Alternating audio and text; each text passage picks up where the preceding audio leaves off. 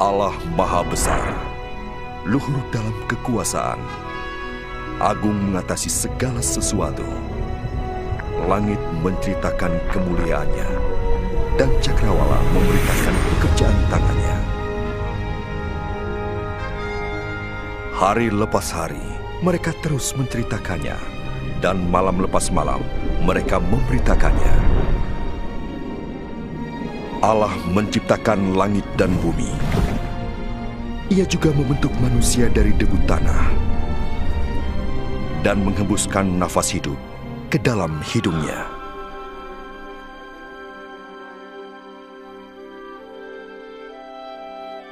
Allah menciptakan laki-laki dan perempuan menurut citranya agar mereka dapat berhubungan dengannya. Awalnya, manusia menghormati dan memuliakan Allah, serta hidup selaras dengan kehendaknya.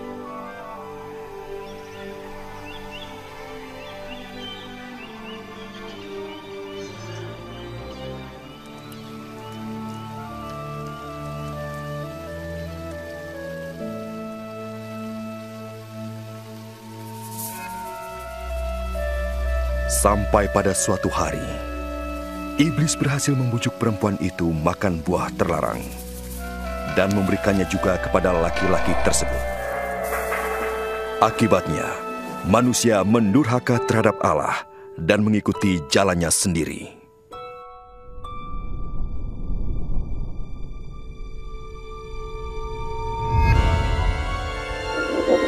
Sebagai upah dosanya, manusia dipisahkan dari Allah dan diusir dari Taman Firdaus.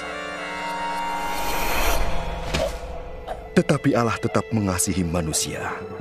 Ia tidak ingin dipisahkan dari ciptaannya. Namun bagaimanakah Allah dapat disebut suci dan adil jikalau ia tidak menghukum dosa manusia? Di dalam kitab suci, Allah menyatakan rencananya untuk menyelamatkan dunia dari hukuman. Orang pertama yang memahami rencana ini adalah Nabi Ibrahim.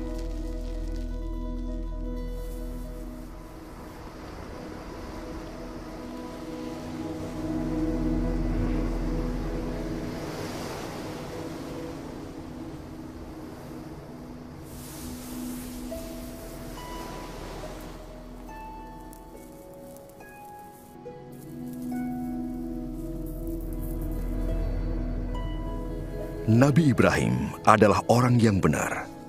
Allah berjanji untuk memberkahinya dan menjadikan keturunannya sebanyak pasir di laut dan bintang di langit.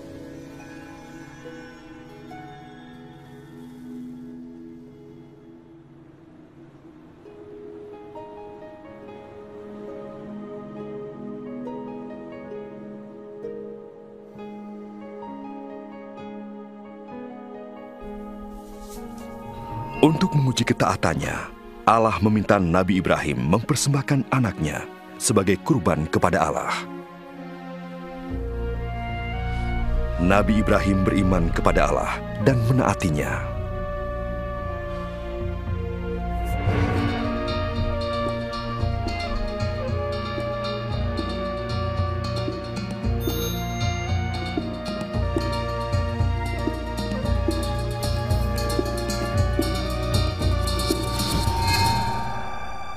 Tetapi waktu ia mengangkat pisau untuk membunuh anaknya, malaikat Allah menghentikannya.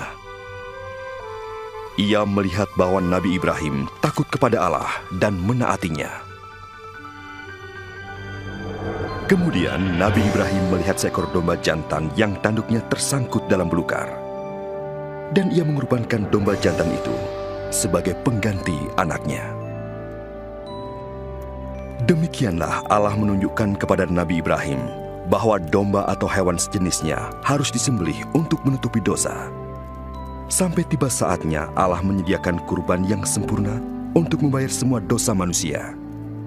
Dosa yang memisahkan manusia dari Allah diganti dengan kurban yang memulihkan hubungan tersebut. Kitab suci memberitahukan tentang Dia yang akan datang untuk menjadi kurban yang sempurna bagi dosa-dosa manusia. Sebagaimana domba jantan menggantikan anak Nabi Ibrahim, demikian pula Ia akan menggantikan manusia agar manusia dapat diampuni. Banyak orang menyebutnya Al-Masih yang datang untuk mendamaikan manusia dengan Allah sekali untuk selama-lamanya.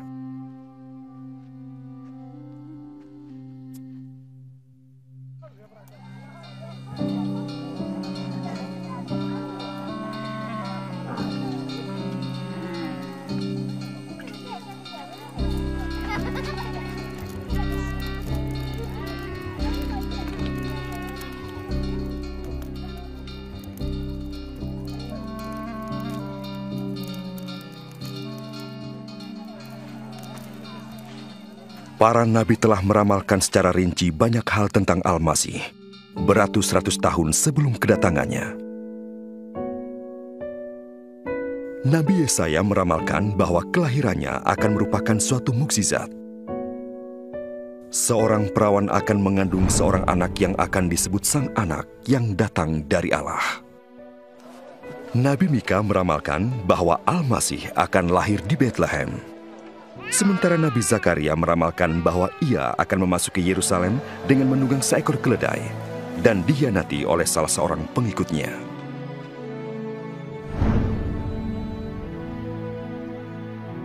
Nabi Yesaya meramalkan apa yang akan dilakukan oleh Al-Masih ketika ia datang.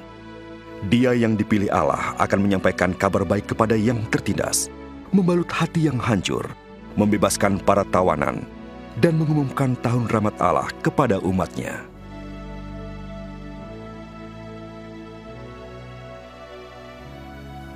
Jadi, siapakah Al-Masih itu? Pada abad pertama datanglah seorang nabi yang bernama Isa. Banyak yang berpikir bahwa dialah yang kedatangannya telah diramalkan para nabi sebelumnya. Benarkah demikian? Apakah hidupnya memenuhi ramalan-ramalan itu? Apakah Isa lebih dari sekedar nabi? Berikut ini adalah riwayat hidupnya berdasarkan catatan para saksi mata yang tercantum dalam kitab suci. Agar kita dapat mengerti dan menarik manfaat dari kehidupan Isa, maka diri Isa diperankan oleh seorang aktor yang sebenarnya tidak satupun aktor yang layak memerankannya.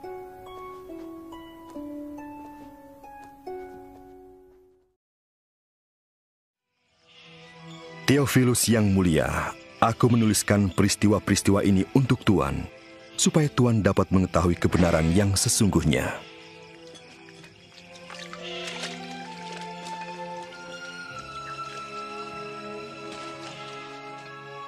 Pada masa pemerintahan Kaisar Agustus di Rom, dan Herodes menjadi raja di Yudea, Allah mengutus malaikat Jibril menemui Maryam, seorang perawan di Nazaret.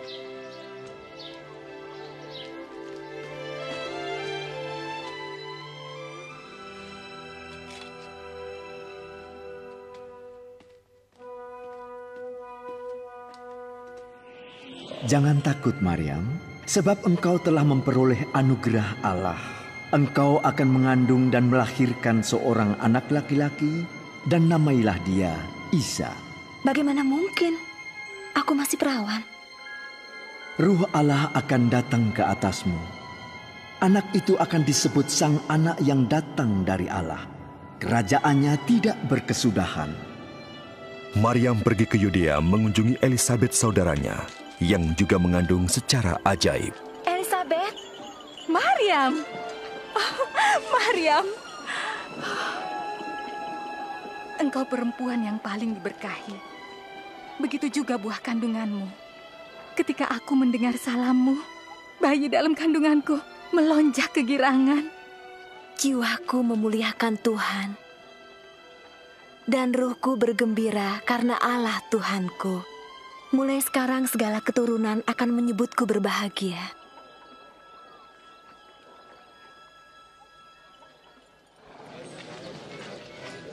Hai penduduk Nazaret, Kaisar Agustus memerintahkan untuk mengadakan sensus penduduk di seluruh wilayah Galilea dan Yudea. Setiap orang harus mendaftarkan diri di tempat kelahirannya masing-masing.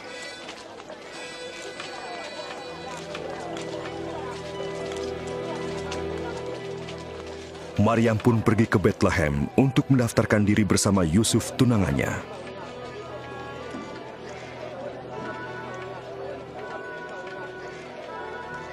Namun tidak ada tempat menginap bagi mereka, kecuali sebuah kandang yang hina.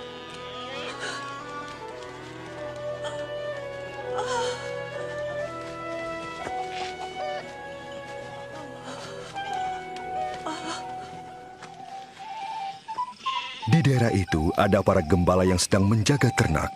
Tiba-tiba malaikat Allah berdiri dekat mereka, dan kemuliaan Allah menyinari mereka.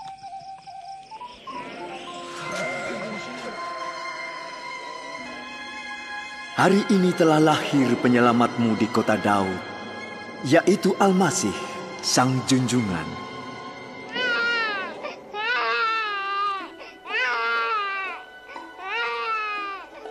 Mereka segera pergi melihat bayi yang terbaring di dalam palungan itu.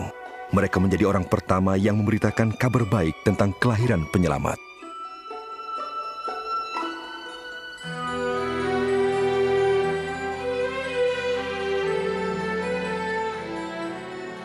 Setelah delapan hari, bayi itu dikitan dan dinamai Isa. Yusuf dan Maryam membawanya ke Yerusalem untuk diserahkan kepada Allah. Di sana ada Simeon, orang yang saleh dan bertakwa, yang telah mendapat janji bahwa ia tidak akan mati sebelum melihat Al-Masih. Ya Allah, biarlah sekarang ini hambamu pergi dengan sejahtera.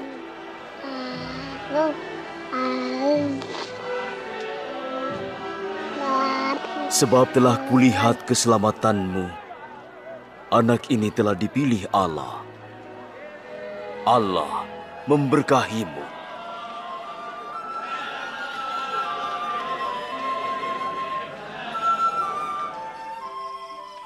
Setelah selesai memenuhi ketentuan hukum Taurat di Yerusalem, mereka kembali ke Nazaret.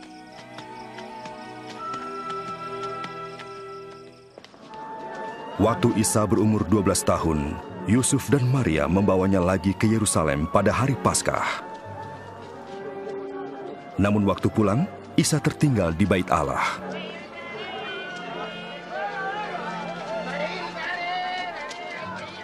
Mereka kembali untuk mencarinya dan menemukan Isa sedang duduk bertanya jawab dengan para alim ulama. Anak siapakah ini? Luar biasa. Dia dari Nazaret dan tertinggal di sini. Kami mohon maaf. Semua yang mendengarkannya takjub.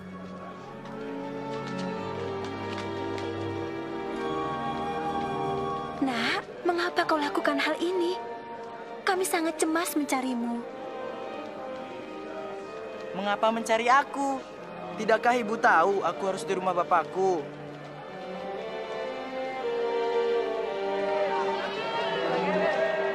Isa pulang bersama mereka ke Nazaret. Ia makin besar dan bijak, makin dikasihi oleh Allah dan manusia.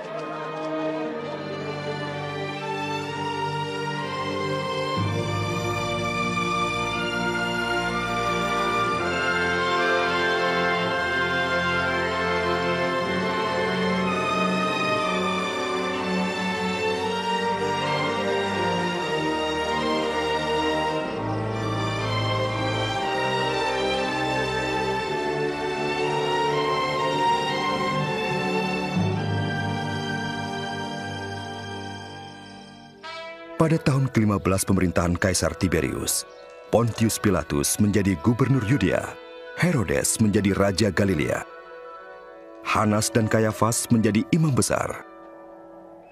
Firman Allah turun kepada Nabi Yahya di padang gurun. Ia pergi ke seluruh daerah Yordan dan berkhotbah tentang pertobatan demi pengampunan dosa. Bertobatlah kamu dan dipermandikan, maka Allah akan mengampuni dosamu.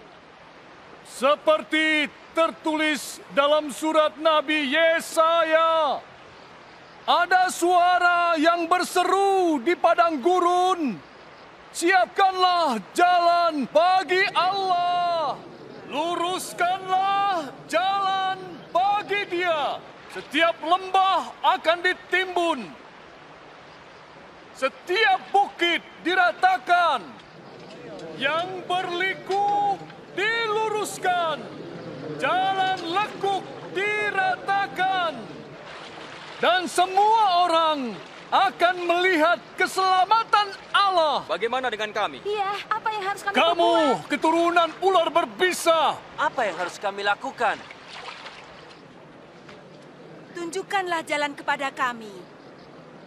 siapa yang punya dua helai baju harus memberikan satu untuk yang tidak punya. Dan siapa punya makanan harus membagikannya. Guru. Kami penagih pajak. Bagaimana dengan kami? Jangan menagih lebih dari seharusnya. Dan bagaimana dengan kami? Apa yang harus kami perbuat? Jangan merampas harta orang lain dan jangan memeras siapa pun juga. Cukupkan dirimu dengan gajimu.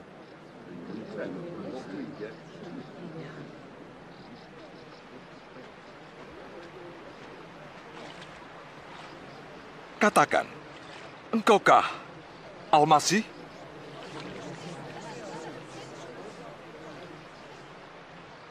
Aku permandikan kamu dengan air. Tapi yang lebih berkuasa daripadaku akan datang. Membuka tali kasutnya pun aku tidak layak. Ia akan mempermandikan dengan ruh Allah dan api. Di tangannya ada penampi untuk mengumpulkan gandum ke dalam lumbungnya, tetapi sekam akan dibakarnya.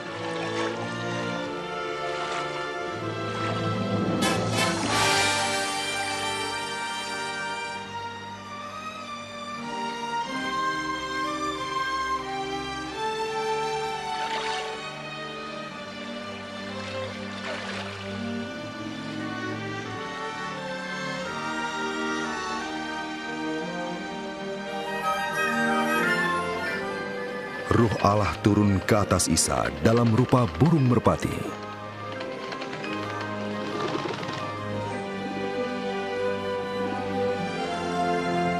Dan terdengar suara Allah, Engkau sang anak yang kukasihi, kepadamu aku berkenan.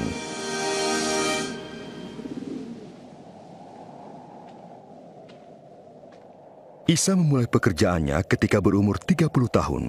Dengan penuh ruh Allah, ia meninggalkan sungai Yordan. Ruh Allah membawanya ke gurun. Di sana Isa digoda iblis selama 40 hari. Selama itu ia tidak makan apa-apa.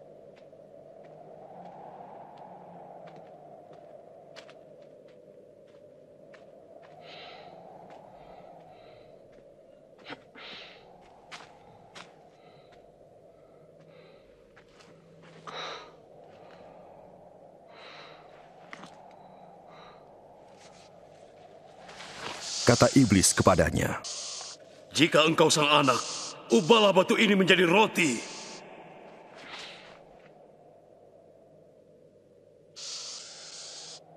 Ada tertulis, manusia tidak hidup dari roti saja, tapi dari setiap firman Allah.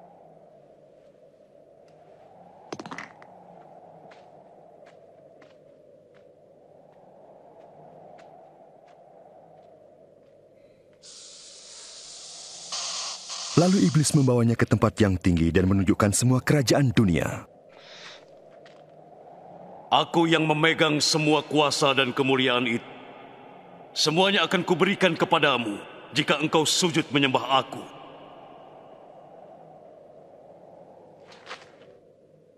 Ada tertulis, sembahlah Allah. Kepadanya saja kamu harus beribadah.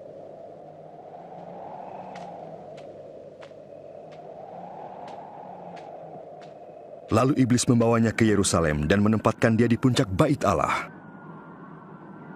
Jika engkau sang anak, jatuhkanlah dirimu ke bawah. Sebab ada tertulis, Allah akan menyuruh para malaikatnya melindungi engkau sehingga kakimu tidak terantuk batu. Ada tertulis, jangan kau mencobai Allah Tuhanmu.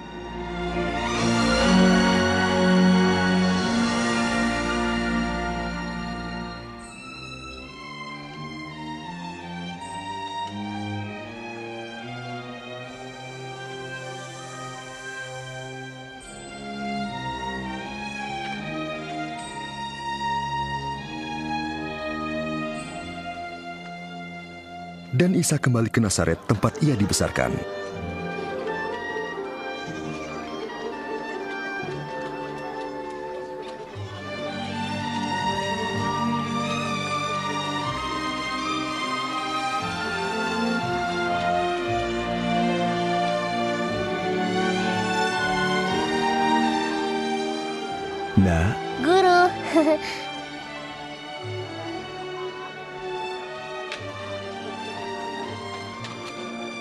Pada hari Sabat, seperti biasa, ia pergi ke tempat ibadah.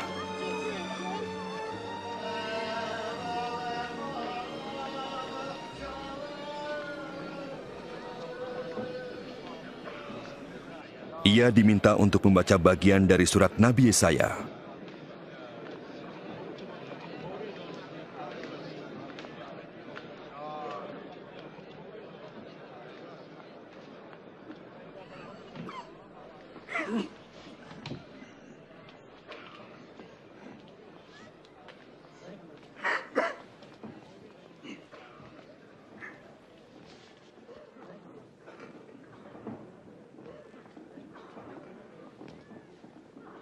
Ruh Allah ada padaku.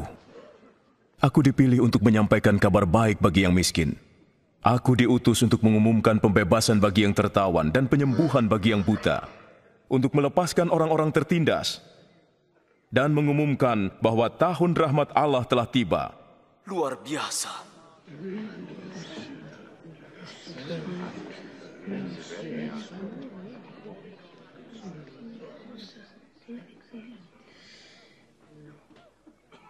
Hari ini genaplah ayat ini, waktu kamu mendengarnya.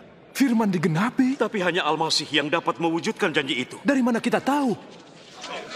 Tentu kamu akan berkata kepadaku, Hai tabib, sembuhkan dirimu sendiri. Dan berkata juga, buatlah di tempat asalmu ini apa yang kau buat di Kapernaum. Sesungguhnya, tidak ada nabi yang dihargai di tempat asalnya. Dengan begitu, Isa menyatakan diri sebagai Al-Masih yang dipilih penyelamat manusia. Bani Israel menolaknya. Mereka bermaksud mendorong Isa ke jurang, tapi Isa menghindar dari mereka dan pergi.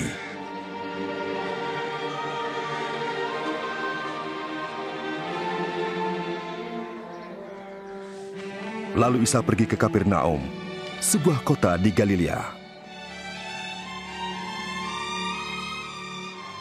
Penjajahan bangsa Rum terasa di mana-mana, dan rakyat mengharapkan kedatangan Al-Masih yang akan membebaskan mereka.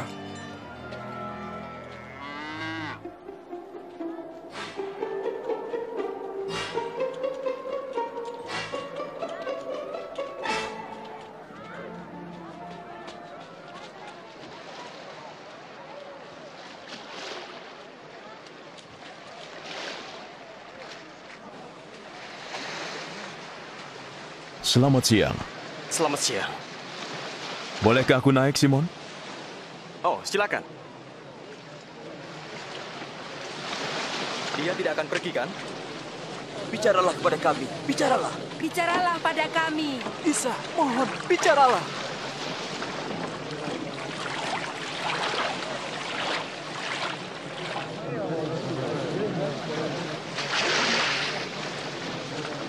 Ada dua orang pergi ke bait Allah untuk berdoa. Yang satu Farisi, yang lain penagih pajak. Si orang Farisi berdiri dan berdoa. Ya Allah, aku bersyukur karena aku tidak seperti orang lain yang serakah, curang atau berzina. Dan juga tidak seperti penagih pajak ini. Aku membayar zakat dan berpuasa dua kali seminggu. Tapi si penagih pajak berdiri jauh dan tak berani menengadah. Ia memukuli dada dan berkata, Ya Allah, kasihanilah saya, orang berdosa. Aku berkata kepadamu, penagih pajaklah yang dibenarkan Allah, bukan orang Farisi itu. Sebab orang yang meninggikan diri akan direndahkan, dan orang yang merendahkan diri akan ditinggikan. Bertolaklah ke tempat yang dalam, dan tebarkanlah jalamu untuk menangkap ikan. Ah, guru, sepanjang malam kami bekerja keras dan tidak mendapatkan apa-apa. Tapi apa yang guru suruh, pasti akan aku lakukan. Yakub, Yahya,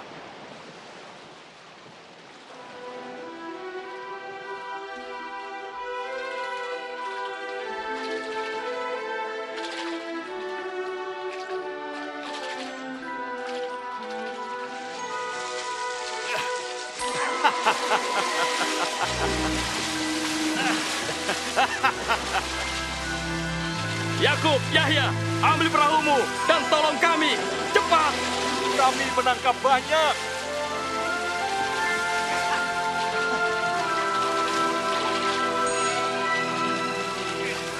cukup, cukup. cukup.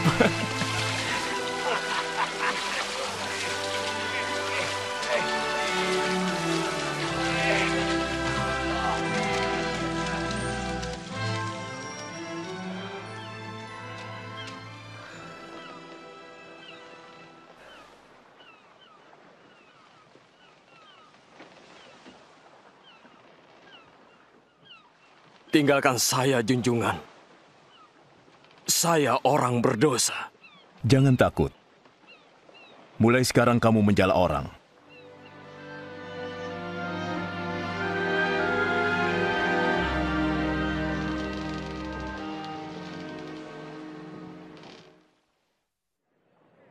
Datanglah kepadaku, dengarlah aku, maka kamu akan hidup.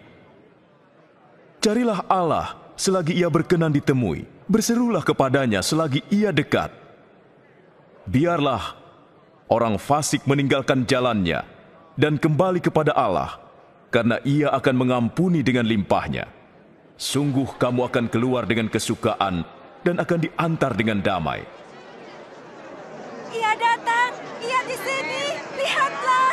Isa, Isa, aku mohon sembuhkanlah anakku. Tuhan kasihanilah. Ia sakit parah dan hampir mati. Tolong, tolonglah anakku. Yairus, maaf. Isa. Anakmu sudah mati. Jangan lagi mengganggu guru. Jangan takut. Percayalah, ia akan sembuh.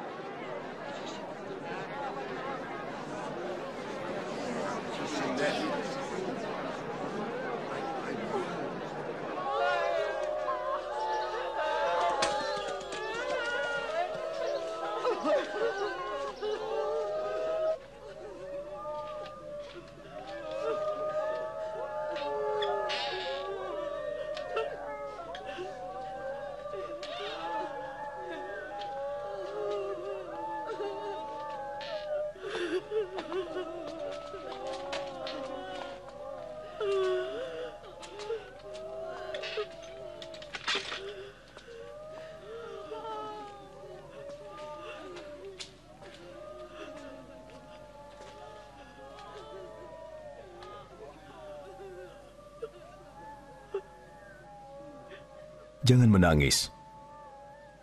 Ia tidak mati, hanya tidur.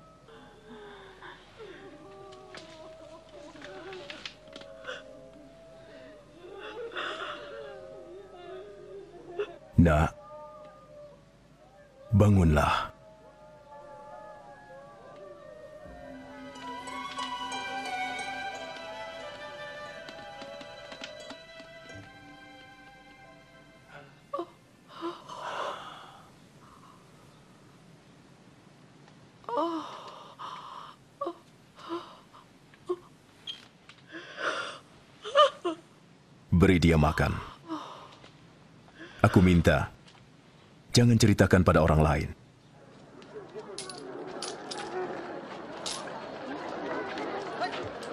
Sesudah itu Isa keluar dan bertemu dengan seorang penagih pajak yang bernama Lewi, yang sedang duduk di pintu gerbang kota.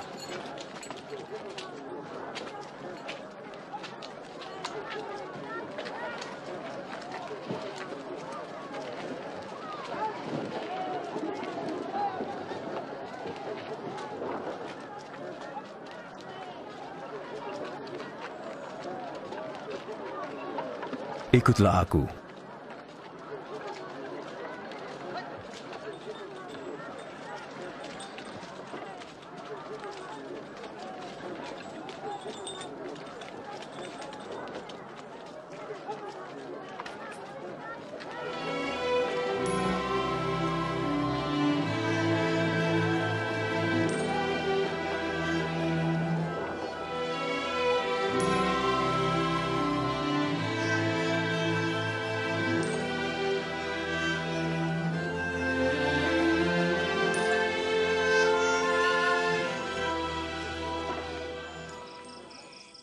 Kemudian Isa pergi ke bukit dan berdoa sepanjang malam.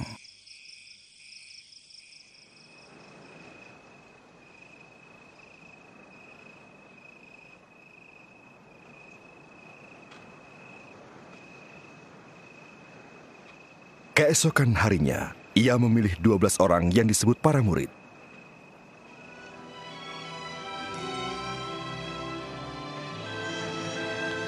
Simon yang juga disebut Petrus.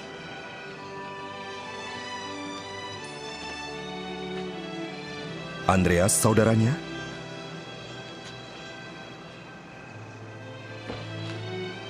Yakub.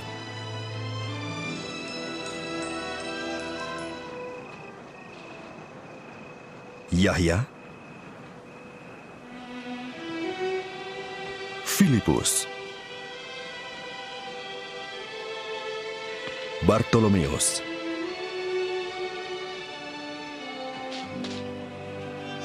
Matius.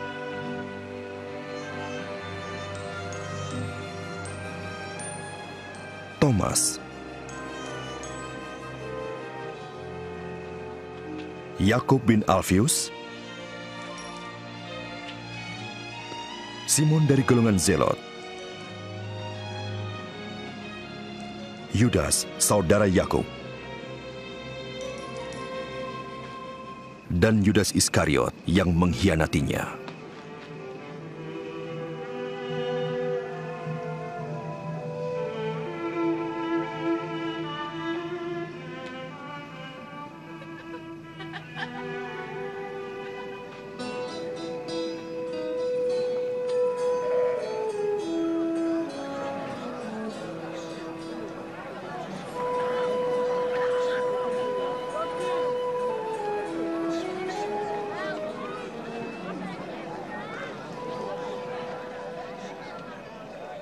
Berbahagialah yang miskin, karena kamu umat Allah.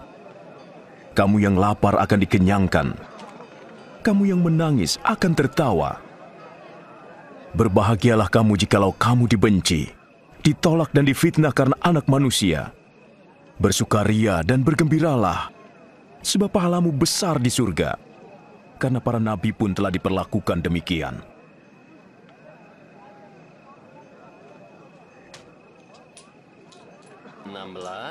17, 18, 19, 20.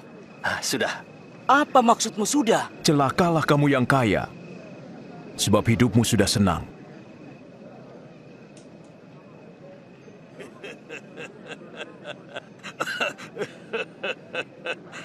Dia tidak ingin kaya.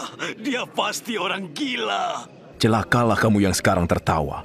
Karena kamu akan menangis. Celakalah kamu jika semua memuji kamu, seperti pujian kepada nabi-nabi palsu. Dengarlah perkataanku, kasihilah musuhmu. Berbuat baiklah bagi yang membencimu. Berkahi bagi yang mengutukmu. Doakan bagi yang mencacimu.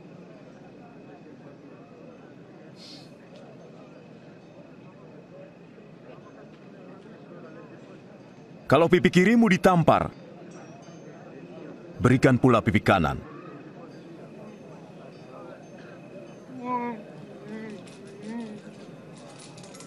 Dan kalau bajumu diambil, biarkan jubahmu diambil juga.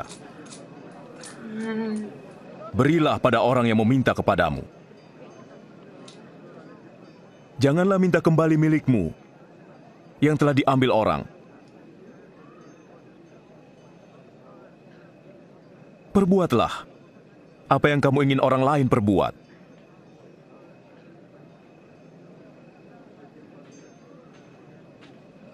Jika kamu hanya mengasihi orang yang mengasihimu, apakah jasamu? Orang berdosa pun melakukannya. Jika kamu hanya berbuat baik pada orang yang berbuat baik, apakah jasamu? Orang berdosa pun melakukannya. Dia menyentuhnya. Ia berbicara kepadanya. Ih, menjijikkan.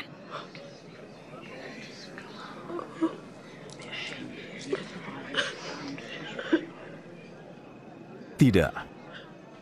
Kasihilah musuhmu. Berbuat baiklah.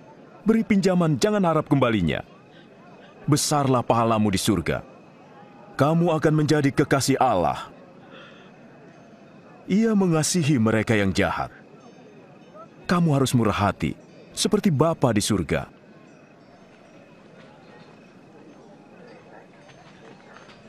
Isa, selamatkan kami. Jangan menghakimi agar tidak dihakimi. Jangan menghukum agar kamu tidak dihukum. Ampunilah, dan kamu akan diampuni. Pimpin kami di jalanmu, junjungan.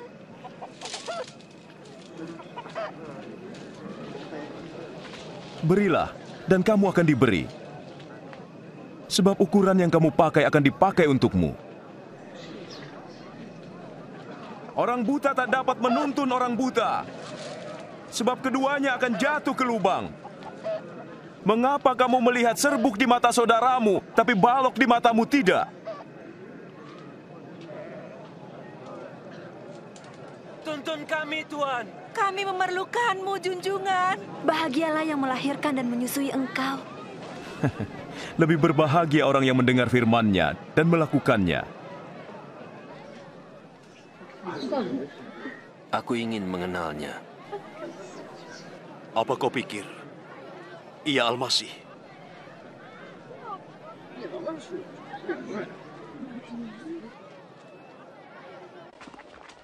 Orang Farisi itu mengundang Isa makan di rumahnya. Maka pergilah Isa dan duduk makan di rumahnya. Hei anak-anak, menjauhlah. Kamu dengar? Pergi. Mereka ini mencari perhatian. Apa yang dilakukannya di sini? Aku tidak tahu.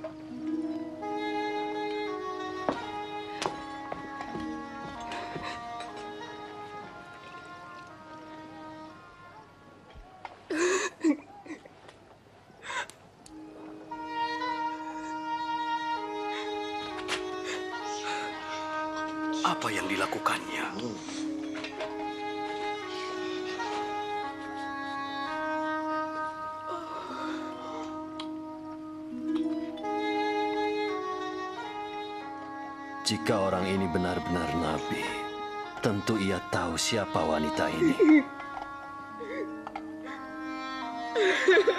Dan apa dosa-dosa yang telah dilakukannya. Aku tahu orang ini Simon. Dengarkanlah aku. Ada dua orang berhutang kepada satu orang. Masing-masing 500 dan 50 dinar. Karena tidak sanggup membayar, hutang mereka dihapuskan. Yang mana yang paling bersyukur? Menurut saya, orang yang paling banyak hutangnya. Kamu benar.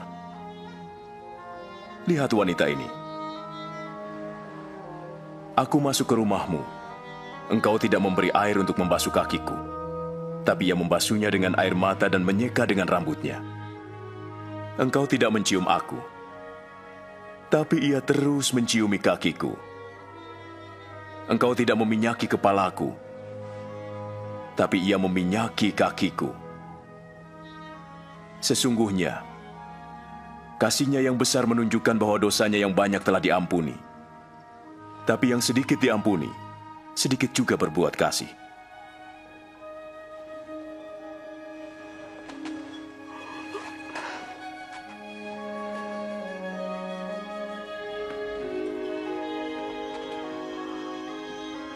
Dosamu sudah diampuni. Bagaimana dia dapat berkata seperti itu? Bagaimana dia ia menghina Pergilah kamu dengan sejahtera. Tidak mungkin. Tidak mungkin.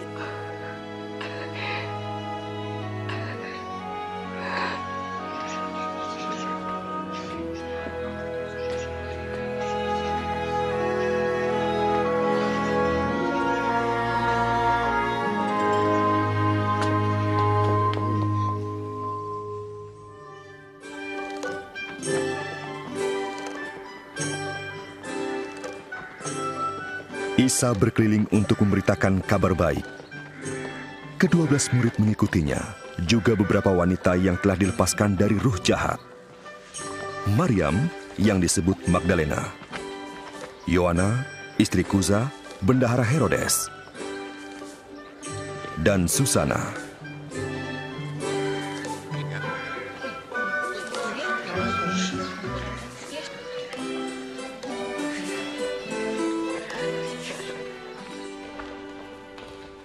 Tetapi Herodes, raja wilayah Galilea yang ditetapkan oleh pemerintah Rum, memenjarakan Nabi Yahya karena menegur pernikahannya dengan istri saudaranya.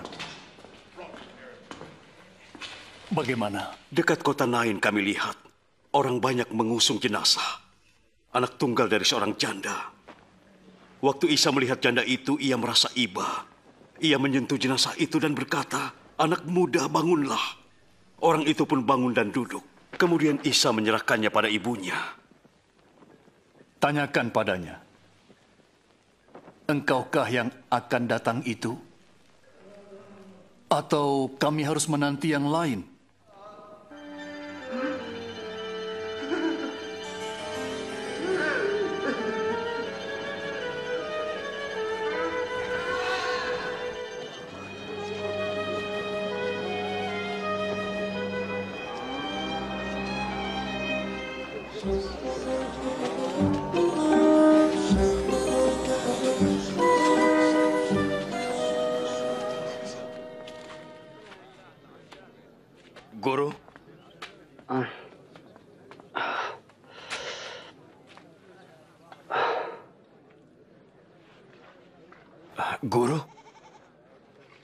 Nabi Yahya menyuruh kami bertanya, apakah engkau yang akan datang itu?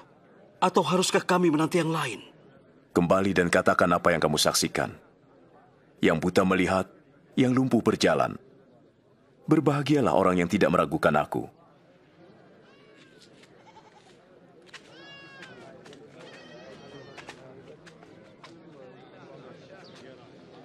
Angkat aku, ayah. Ayo, ku angkat. Ah, kau melihatnya? Ya, aku melihatnya. Seorang penabur pergi menabur benih. Sebagian benih jatuh di pinggir jalan dan diinjak orang. Dan burung-burung memakannya. Ada yang jatuh di tempat berbatu-batu. Tumbuh sebentar, lalu layu, sebab tidak mendapat air. Ada yang jatuh di semak duri, tumbuh tapi terhimpit, lalu mati. Dan yang jatuh di tanah yang subur, tumbuh dan menghasilkan buah seratus kali lipat. Guru, apakah maksud dari yang engkau bicarakan itu? Kepadamu diberi pengetahuan tentang rahasia kerajaan Allah. Tapi kepada mereka diajarkan dengan ibarat, agar mereka melihat dan mendengar tapi tidak mengerti.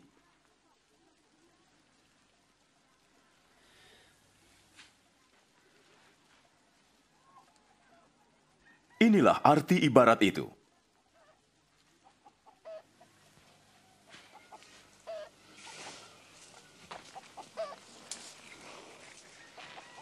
Benih itu adalah firman Allah. Jatuh di pinggir jalan berarti orang mendengarnya. Tapi iblis datang dan merampas firman itu, sehingga mereka tidak percaya dan diselamatkan. Jatuh di tempat berbatu-batu berarti orang mendengar dan menerimanya, tapi tidak berakar. Mereka hanya percaya sebentar, dan waktu kesusahan datang, mereka murtad. Jatuh di semak duri berarti orang mendengar, tapi kekhawatiran dan kenikmatan duniawi menghimpit mereka, sehingga tidak menghasilkan buah. Jatuh di tanah yang subur, berarti orang mendengar dan menyimpannya baik-baik dalam hati. Mereka tekun sampai menghasilkan buah.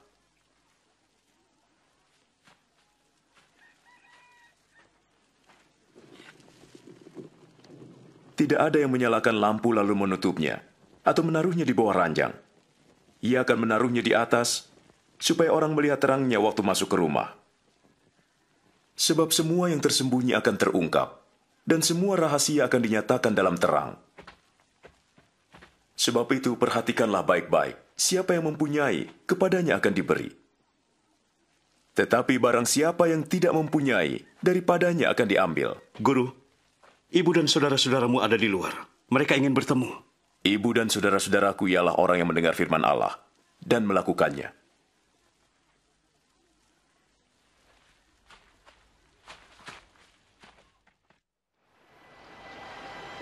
Suatu hari, Isa naik perahu bersama murid-muridnya. Katanya kepada mereka, "Mari kita pergi ke seberang danau." Sementara berlayar, Isa tertidur.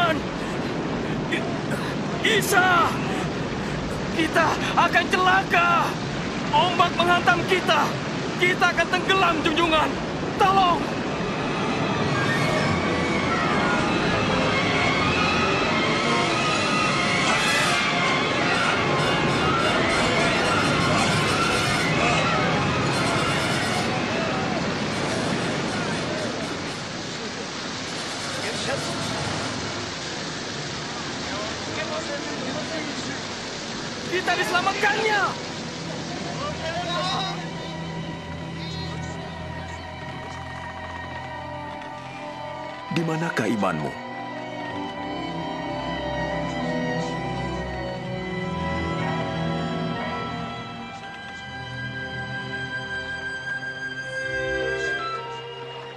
Dan mereka pun berlayar ke Gerasa, di seberang danau Galilea.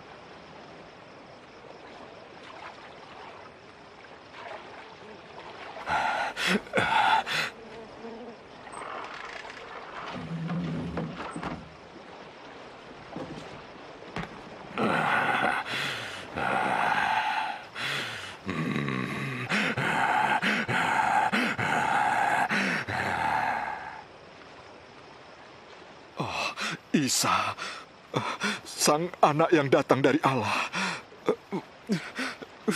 Kau apakan saya? Saya mohon, jangan siksa saya. Siapa namamu?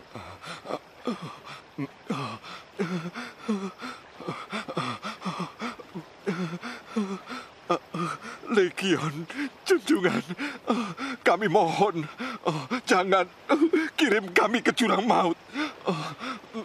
Biarlah kami masuk ke dalam babi-babi itu.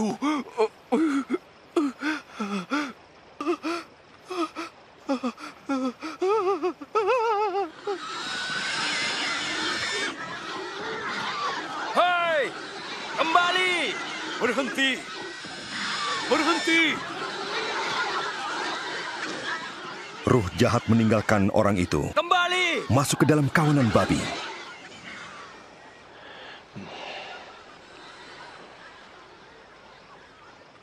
Pergi dari sini! Tukang sihir! Tinggalkan kami! Pergi dari tempat ini! Tinggalkan kami! Pergi dari sini! Saya mau ikut engkau. Izinkanlah aku bersamamu. Pulanglah dan ceritakan semua ini.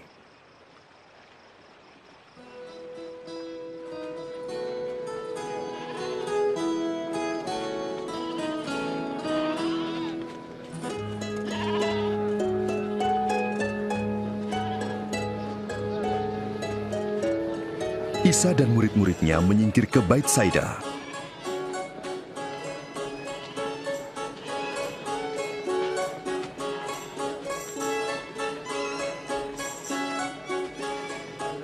Tetapi orang banyak mengetahui dan mengikutinya.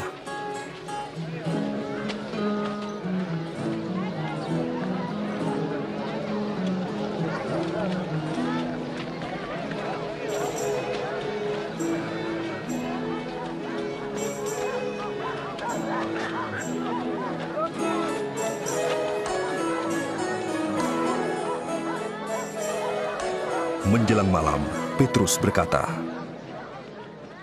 Junjungan, Suruhlah mereka pulang, supaya mereka bisa pergi ke desa-desa di sekitar sini untuk mencari makanan dan penginapan. Tempat ini sunyi sekali.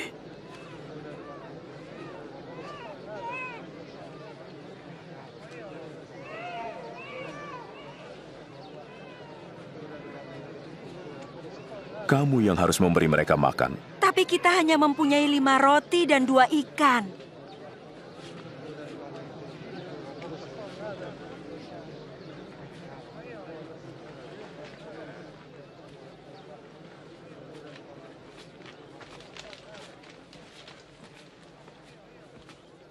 Terpujilah Allah, Tuhan semesta alam, yang menyediakan roti dari bumi.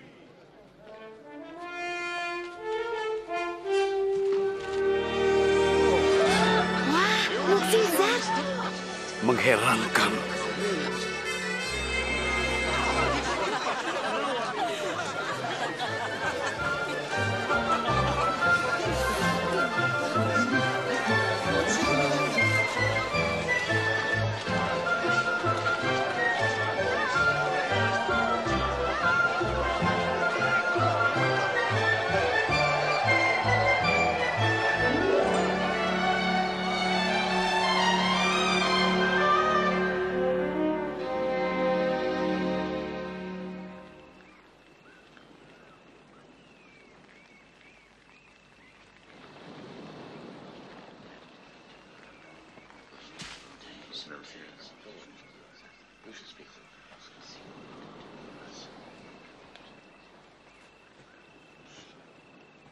Kata orang siapa aku? Ada orang yang mengatakan Nabi Yahya. Ada orang yang mengatakan Nabi Ilyas.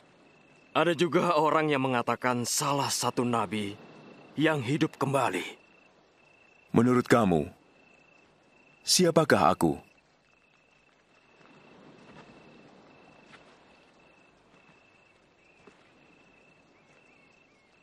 Engkau Al-Masih dari Allah. Jangan katakan pada siapa pun. Anak manusia harus menderita dan ditolak. Ia akan dibunuh. Namun bangkit pada hari yang ketiga.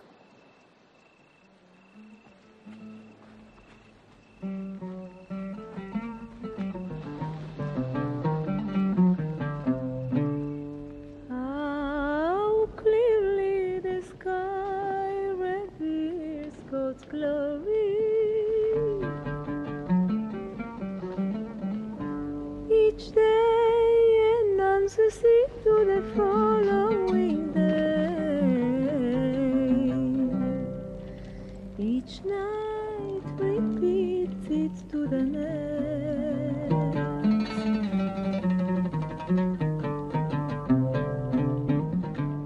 Adakah yang mau mengikut aku? Saya akan ikut engkau, junjungan.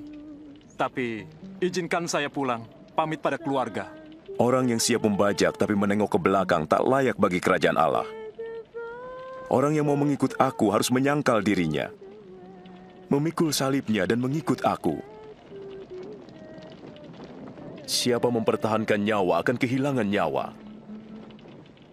Dan yang kehilangan nyawa karena aku akan memperolehnya. Apa gunanya seorang memiliki dunia ini, tapi kehilangan nyawanya? Jika seseorang malu karena aku dan ajaranku, sang anak pun akan malu mengakuinya waktu ia datang kelak. Dalam kemuliaannya dan kemuliaan Bapa.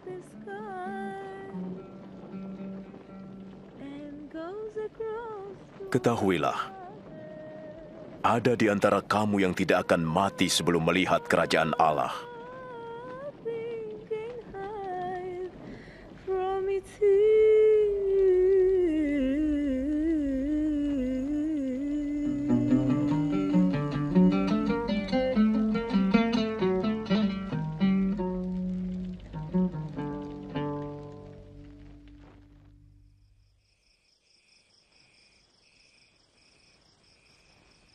Lalu Isa membawa Yahya, Yakub dan Petrus ke atas bukit untuk berdoa.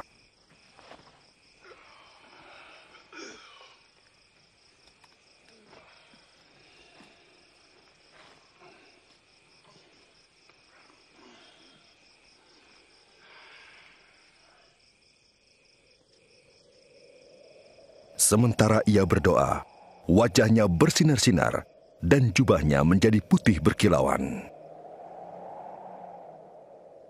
Tiba-tiba ada dua orang berbicara dengannya, yaitu Nabi Musa dan Nabi Ilyas yang tampak dalam kemuliaan surgawi. Engkau akan menggenapi maksud Allah. Engkau akan mati di Yerusalem.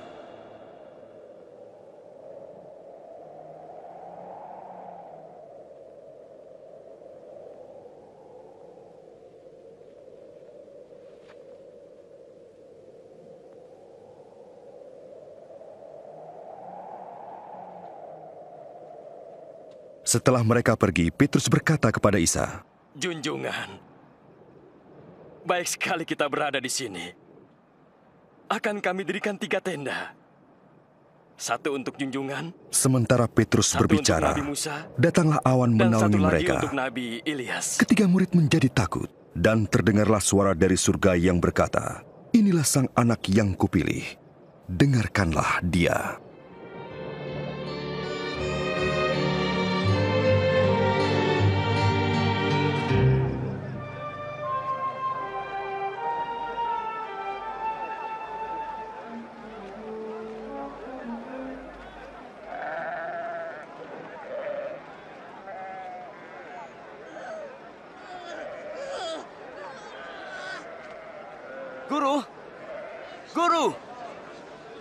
Lihatlah anak saya. Tolong, tolonglah dia. Karena ia anakku satu-satunya. Saya telah meminta murid-muridmu mengusir roh jahat itu. Tetapi mereka tidak mampu. Hai angkatan yang tidak percaya dan yang sesat. Berapa lama lagi aku harus tinggal di antara kamu? Bawa anakmu kemari.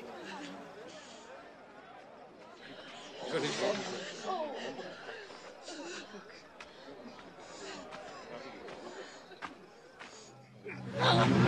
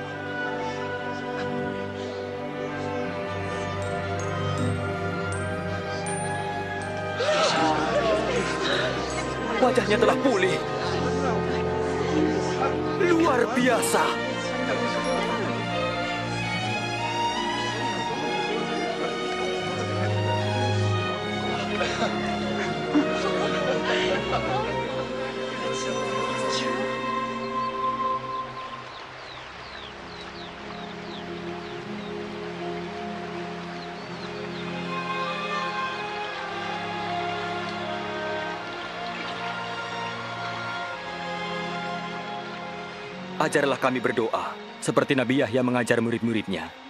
Berdoalah begini. Ya Bapa yang di surga, disucikanlah namamu. Datanglah kerajaanmu. Jadilah kehendakmu di bumi seperti di surga. Beri kami hari ini makanan yang secukupnya. Dan ampunilah kesalahan kami. Seperti kami juga mengampuni yang bersalah kepada kami. Jangan bawa kami ke dalam cobaan. Tapi lepaskanlah kami dari yang jahat.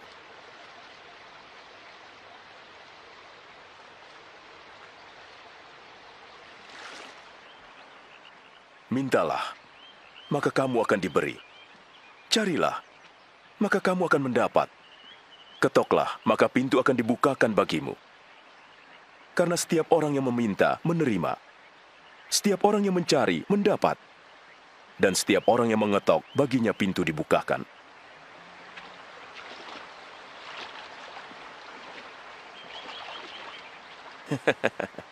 Adakah di antara kamu para ayah yang memberi anaknya ular ketika ia minta ikan? Atau kala jengking ketika ia minta telur? Kamu yang jahat tahu memberi yang baik kepada anak-anakmu. Apalagi Bapamu yang di surga ia akan memberikan ruh Allah kepada mereka yang memintanya. Aku berkata kepadamu, janganlah khawatir tentang hidupmu, apa yang hendak kamu makan, atau apa yang hendak kamu pakai. Sebab hidup lebih penting daripada makanan, juga tubuh daripada pakaian. Perhatikanlah burung-burung gagak. Mereka tidak menanam, tidak menuai, tidak mempunyai gudang atau lumbung, tetapi Allah memelihara mereka. Bukankah kamu melebihi burung-burung itu?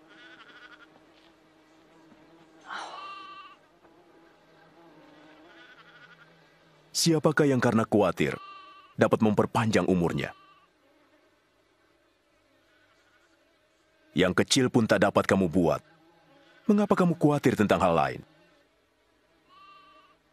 Perhatikanlah bunga bakung, bagaimana tumbuhnya. Tanpa memintal, menenun, Nabi Sulaiman pun tidak berpakaian seindah salah satu dari mereka. Jika Allah mendandani rumput yang hari ini ada dan besok dibuang ke dalam api, tentu lebih lagi ia akan mendandani kamu. Hai kamu yang kurang beriman. Tambahkanlah iman kami. Jika imanmu sebesar biji sawi, kamu dapat berkata kepada pohon ini, tercabutlah dan tertanamlah di laut, dan ia akan mentaatimu.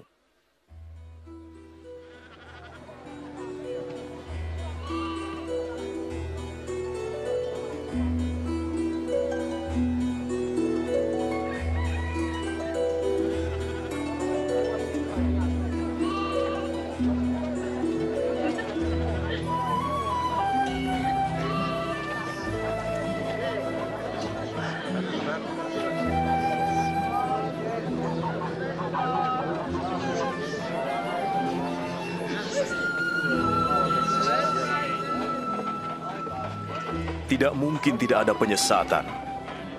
Tapi celakalah yang mengadakannya. Lebih baik jika sebuah batu diikatkan ke lehernya dan dilemparkan ke laut, daripada ia menyesatkan salah satu dari yang lemah ini. Seperti apakah kerajaan Allah itu? Seperti ini. Seorang mengambil biji sawi dan menanam di kebunnya. Biji itu tumbuh menjadi pohon, dan burung-burung bersarang di cabang-cabangnya. Saya tidak mengerti apa yang dikatakannya. Mengapa kau makan dan minum dengan penagih pajak dan orang berdosa? Orang sehat tidak memerlukan tabib, tapi hanya orang yang sakit. Aku tidak datang untuk memanggil orang yang saleh, tapi orang berdosa.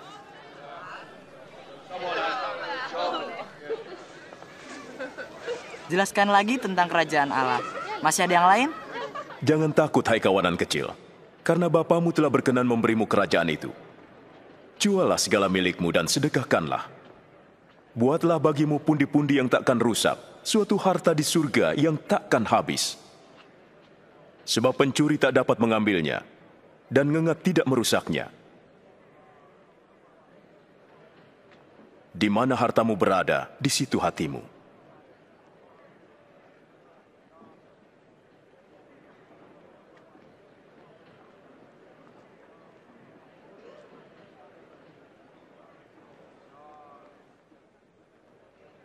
Ibu, sakitmu telah sembuh.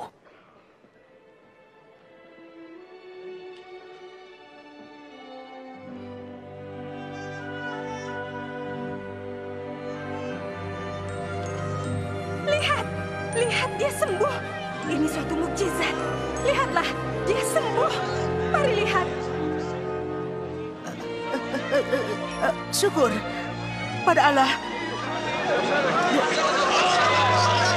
18 tahun. A- Allah, Allah menyertaimu, Guru. Ada enam hari untuk bekerja. Datanglah pada salah satu hari itu untuk disembuhkan. Dan jangan pada hari sabat. Hai orang munafik, kamu melepaskan ternakmu dari kandang pada hari Sabat dan membawanya ke tempat minum. Sekarang di sini ada seorang keturunan Ibrahim yang 18 tahun diikat oleh iblis. Tidak bolehkah ia dilepaskan pada hari sabat?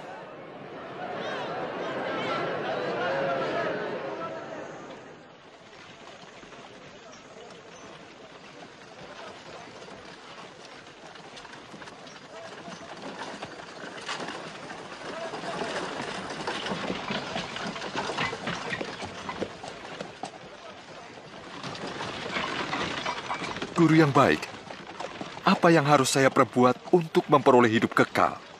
Mengapa kau sebut aku baik? Tidak ada yang baik selain Allah sendiri. Apa kata firman? Jangan melakukan zina. Jangan membunuh. Jangan bersaksi dusta. Hormatilah ayah dan ibumu. Semuanya telah kuturuti sejak masa mudaku. Satu lagi yang kurang darimu. Jual semua milikmu, sedekahkan pada orang miskin, dan kamu akan mendapat pahala. Setelah itu, ikutlah aku. Tapi kami pedagang. Kaya.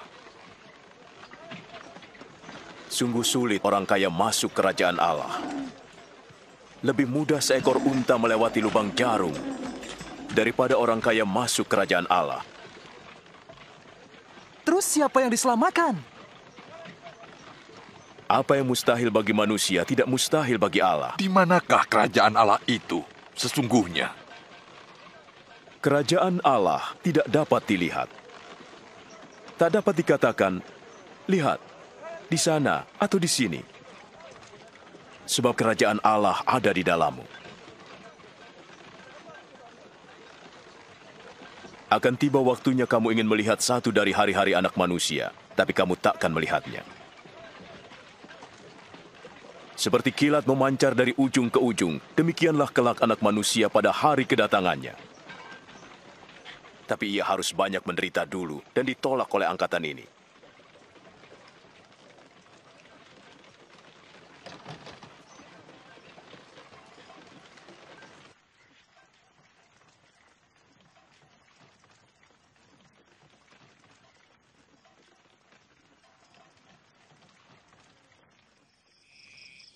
Lebih mudah langit dan bumi lenyap daripada satu titik dari hukum Taurat batal. Banyak nabi dan raja ingin melihat apa yang kamu lihat, namun tidak dapat. Dan ingin mendengar apa yang kamu dengar, namun tidak dengar. Apa yang harus kami lakukan? Apa kata kitab suci? Bagaimana kamu menafsirkannya?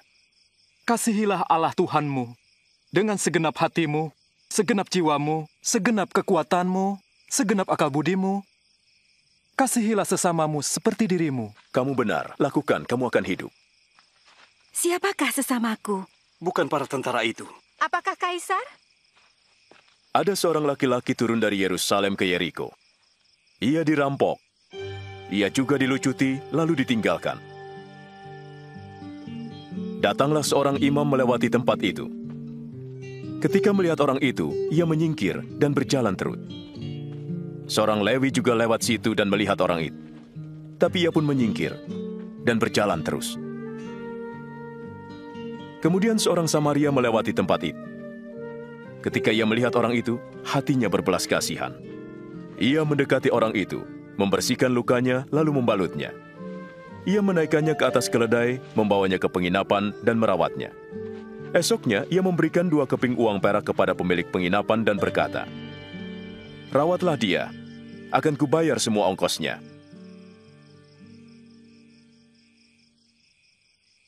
Manakah di antara ketiga orang itu yang menjadi sesama bagi orang yang dirampok itu?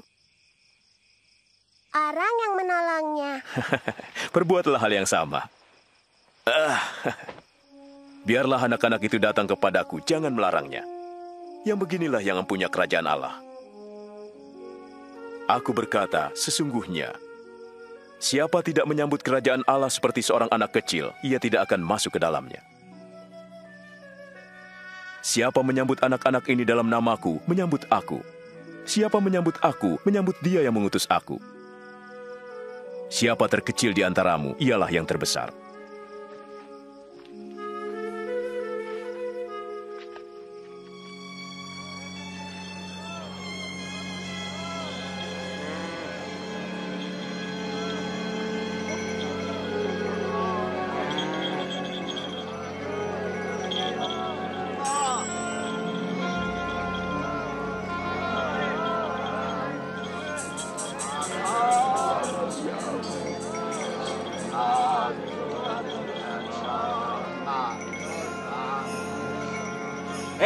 Ada apa-apa yang terjadi? Isa orang Nazaret sedang lewat.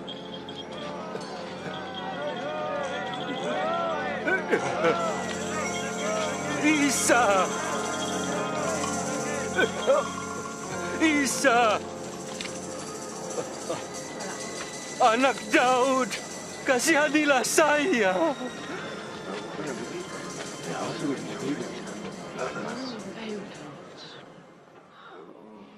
Apa yang harus aku perbuat? Aku ingin melihat lagi.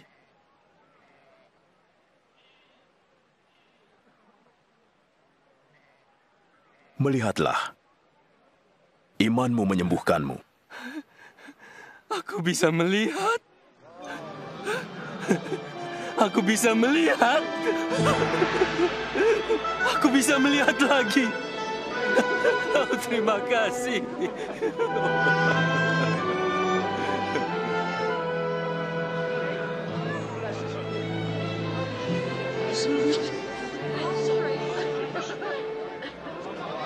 Ketika Isa pergi ke Yerusalem, banyak orang mengikutinya. Mereka memintanya untuk menunjukkan jalan keselamatan dan mengajar mereka tentang kerajaan Allah.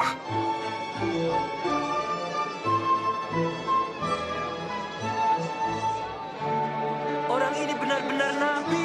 Junjungan, selamatkanlah saya.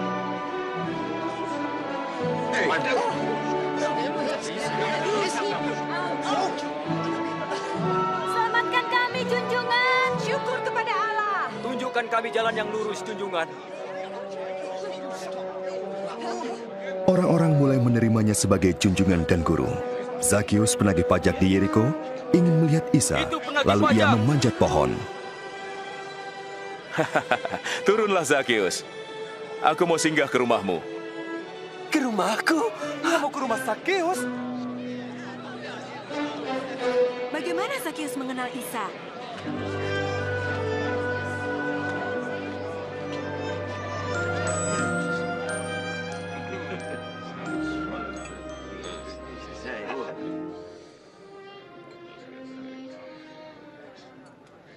Dengar, akan kuberi setengah dari milikku pada yang miskin. Dan jika aku telah memeras orang, akan kubayar kembali empat kali lipat.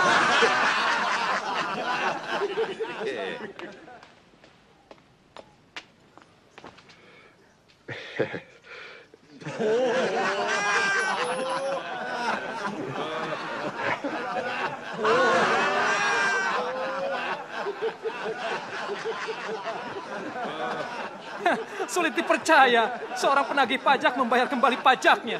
Tidak mungkin.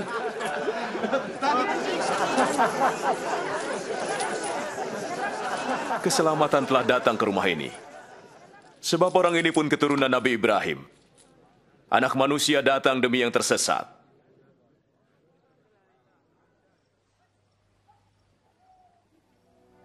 Dengarkan.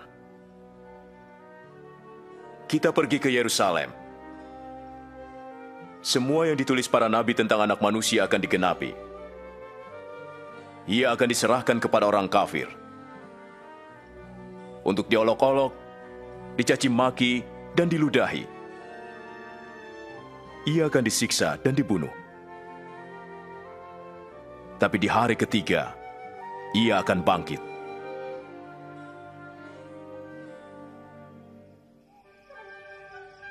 Meskipun Isa tahu bahwa ia akan dibunuh karena dosa manusia, ia tetap pergi ke Yerusalem. Banyak orang bersukaria atas kedatangannya dan menyatakan Isa sebagai raja.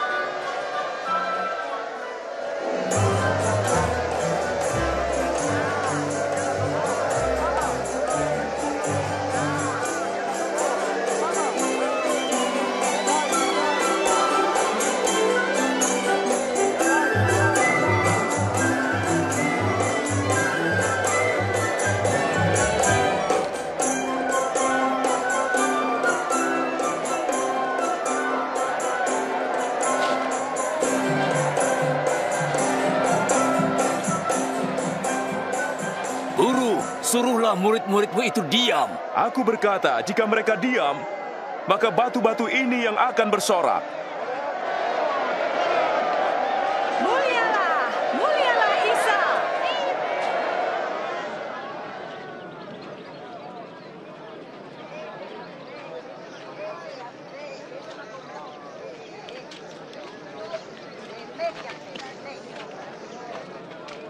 Ketika mendekati Yerusalem, melihat kota itu, ia menangisinya.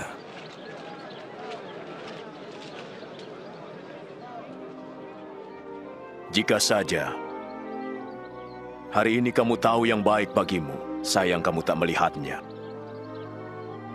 Sebab musuh-musuhmu akan datang, membangun kubu, mengepung dan menghimpitmu dari segala arah, lalu menghancurkanmu di dalam tembokmu. Kamu dan anak-anakmu, satu batu pun takkan mereka tinggalkan tersusun, sebab kamu tidak tahu saat Allah melawatmu.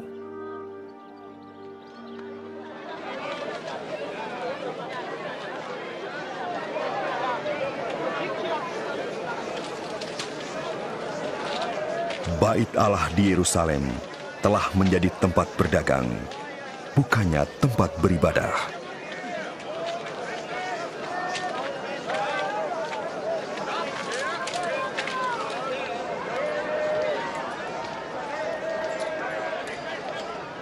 Lima, enam, tujuh, delapan, sembilan, sepuluh, sebelas, dua belas, tiga belas, empat belas, lima belas, enam belas, tujuh belas, delapan belas, sembilan belas, dua puluh, dua satu, dua dua, dua tiga, dua empat, dua lima.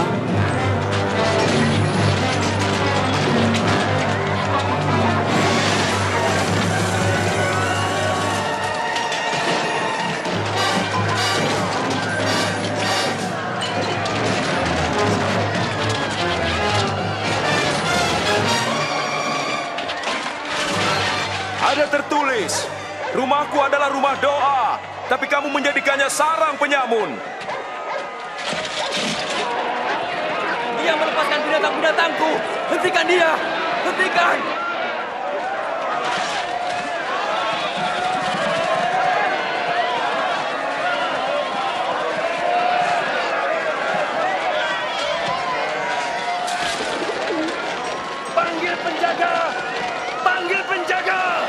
Tantangan dari para pemimpin politik dan agama semakin hebat karena banyak orang menyatakan Isa sebagai raja. Saya tahu banyak orang yang telah mengeluk-elukannya sebagai raja. Raja? Raja pengemis, pelacur, dan pencuri. Kita sudah melihat sebelumnya. Mereka datang, membuat pernyataan, lalu dilupakan. Jangan tutup mata. Pengikutnya semakin banyak. Rakyat mengaguminya. Dan berpikir ia seorang raja. Dengarkan hal ini baik-baik. Jikalau orang ini sampai membuat keributan, saya akan menuntut.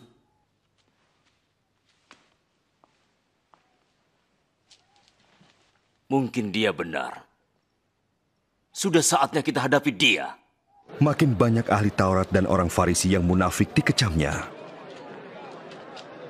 Sehingga makin banyak Bani Israel yang menjadi pengikutnya. Dan makin besar juga tantangan dari orang-orang yang dikecamnya.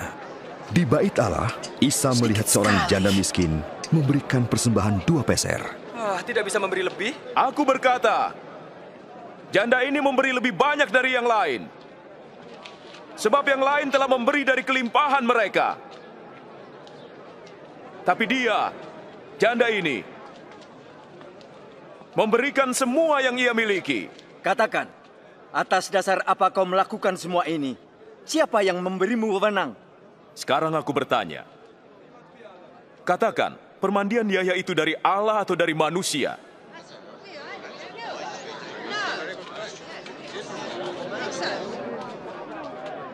Apa jawaban kita? Jika kita jawab dari Allah, ia akan berkata, mengapa kamu tidak percaya?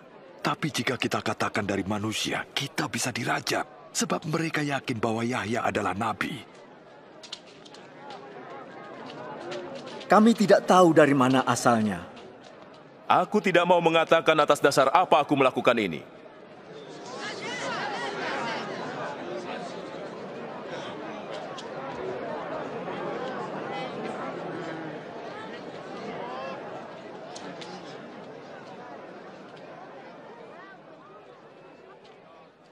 Ada seseorang membuka kebun anggur, menyewakannya pada penggarap, dan pergi beberapa lama. Ketika waktu musim anggur tiba, ia menyuruh seorang hamba untuk mengambil bagiannya dari para penggarap. Tapi hamba itu dipukuli dan pulang tanpa hasil. Disuruhnyalah hamba yang lain. Tapi hamba itu juga dipukuli, dipermalukan dan disuruh pulang dengan tangan hampa. Lalu ia menyuruh hamba yang ketiga. Tapi hamba itu pun dilukai dan dilempar keluar kebun. Maka kata pemilik kebun anggur, apa yang harus kuperbuat? Akan kuutus anakku yang kukasihi. Pasti mereka menghormatinya. Tapi ketika mereka melihatnya, mereka berkata, Dia ini ahli warisnya. Bunuh dia dan warisannya jadi milik kita. Lanjutkan, junjungan. Mereka menyeretnya keluar kebun dan membunuhnya. Apa yang akan diperbuat pemilik kebun terhadap mereka? Ia akan membunuh mereka dan menyerahkan kebun itu pada orang lain. Jadi apa arti ayat ini? Batu yang dibuang oleh tukang-tukang bangunan telah menjadi batu penjuru. Siapa jatuh ke atas batu itu akan remuk. Dan siapa ditimpa batu itu akan hancur jadi debu. Guru, yang kau katakan dan ajarkan itu benar. Engkau tidak memandang muka, tapi engkau mengajar kebenaran tentang jalan Allah. Katakan, apakah boleh kami membayar pajak kepada Kaisar Rum atau tidak? Hati-hati junjungan, dia menjebak. Perlihatkan uang logam.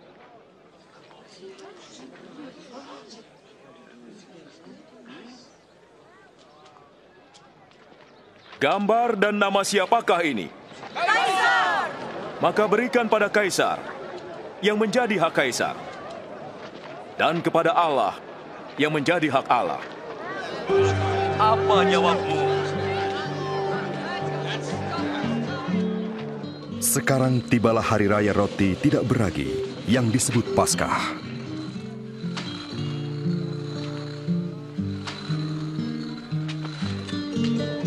Isa menyuruh Petrus dan Yahya pergi mempersiapkan makanan Paskah.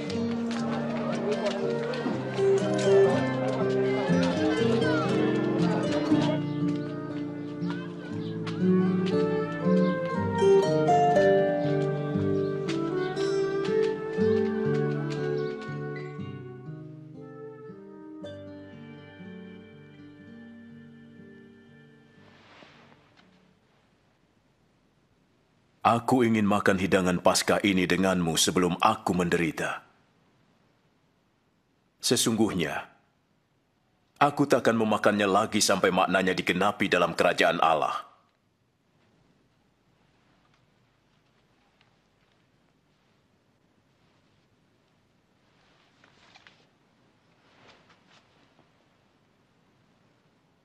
Terpujilah Engkau, ya Allah, Tuhan semesta alam, yang memberkahi pokok anggur.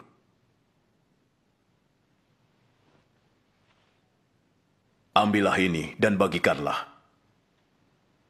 Aku tidak akan minum lagi anggur ini sampai kerajaan Allah datang.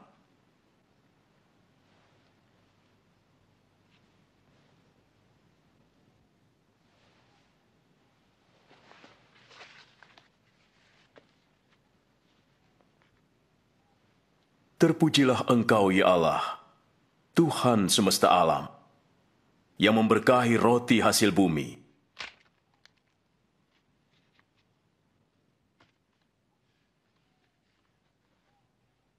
Inilah tubuhku yang diserahkan bagimu. Lakukan ini untuk mengingat aku.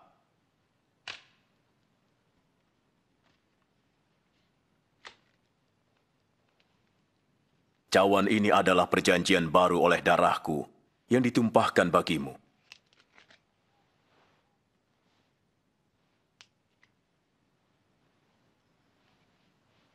Tapi lihat, orang yang menyerahkan aku ada bersamaku di meja ini. Sesungguhnya anak manusia harus mati seperti yang ditentukan Allah, tapi celakalah orang yang menyerahkan dia. Mana mungkin? Tidak mungkin. Tapi siapakah dia? Mustahil. Siapa pengkhianat itu junjungan? Iya, iya. Tapi Mustahil.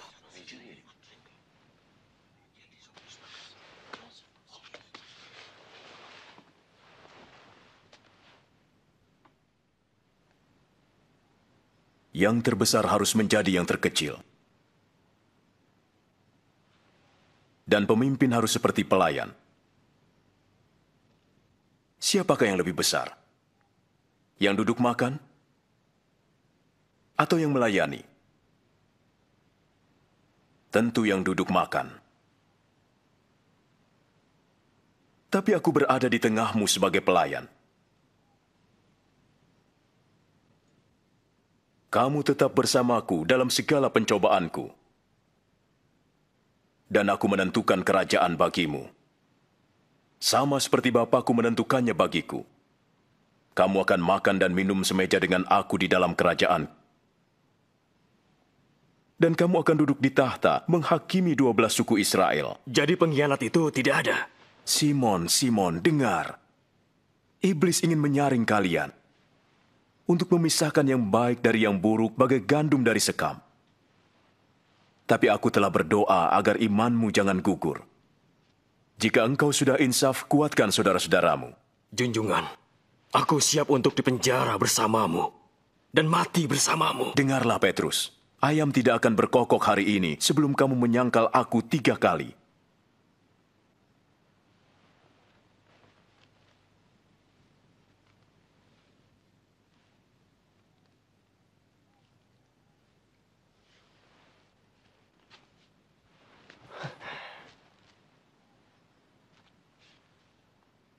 Waktu kuutus tanpa membawa apa-apa, kamu kekurangan? Tidak, tidak kekurangan. Tapi sekarang yang punya dompet atau kantong harus membawanya. Yang tak punya pedang harus menjual jubah dan membelinya.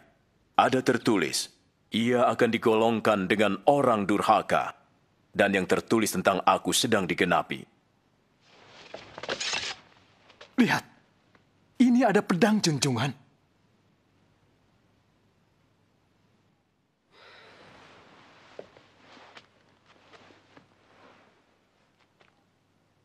Itu cukup. Mahkamah Agama bersidang mencari jalan untuk menangkap Isa. Lalu iblis memasuki Yudas yang disebut Iskariot, seorang dari antara kedua belas murid. Ia pergi kepada imam-imam kepala untuk menyerahkan Isa. Isa meninggalkan Yerusalem dan pergi ke Bukit Zaitun untuk berdoa.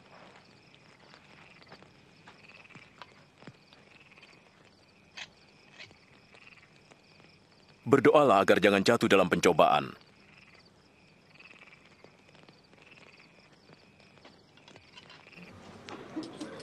Yudas menjual Isa demi 30 keping perak. Isa mengetahui bahwa saat kematiannya bagi dosa-dosa manusia sudah dekat. Lalu ia berdoa.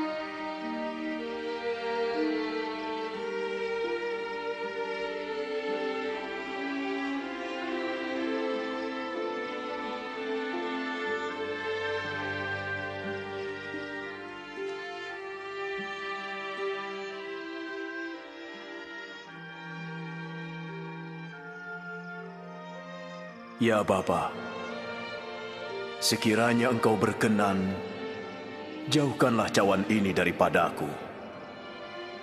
Namun, janganlah kehendakku, tetapi kehendakmu yang jadi.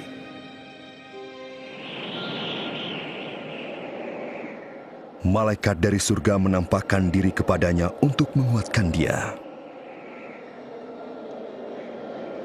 Dan peluhnya bagai titik-titik darah bertetesan ke tanah.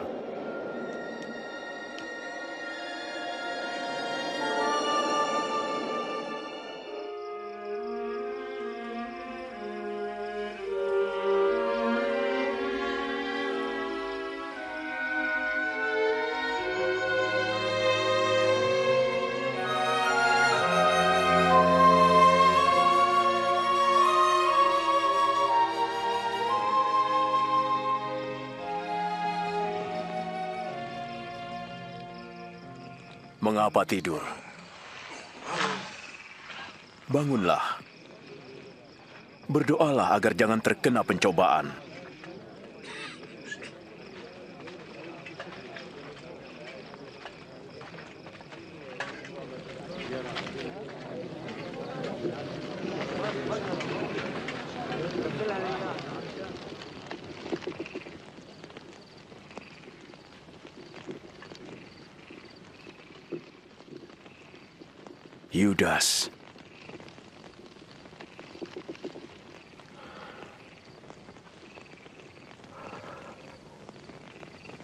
Apakah dengan ciuman kau serahkan anak manusia? Junjungan, boleh kami serang dengan pedang?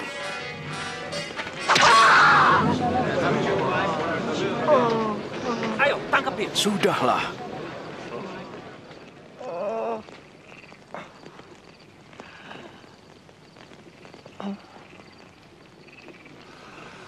Oh, mukjizat. Penjahatkah aku hingga kamu datang dengan pedang dan pentungan? Tiap hari aku di bait Allah, kamu tidak menangkap. Tapi inilah saatnya kamu bertindak. Kuasa gelap menguasaimu.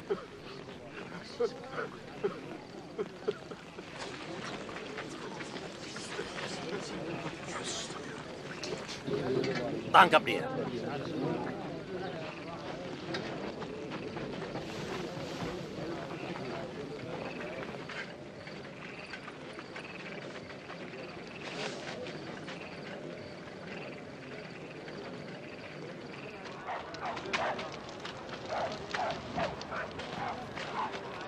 Jagalah dia. Para prajurit membawanya ke halaman dan mengolok-olok dia sebagai raja Bani Israel. Inilah juga seorang raja. Katakan, apa yang akan terjadi? Engkau akan selamatkan kami yang mulia. Menyelamatkan kami. Orang ini juga bersama Isa. Aku tidak mengenal dia. Aku lihat mereka bersama.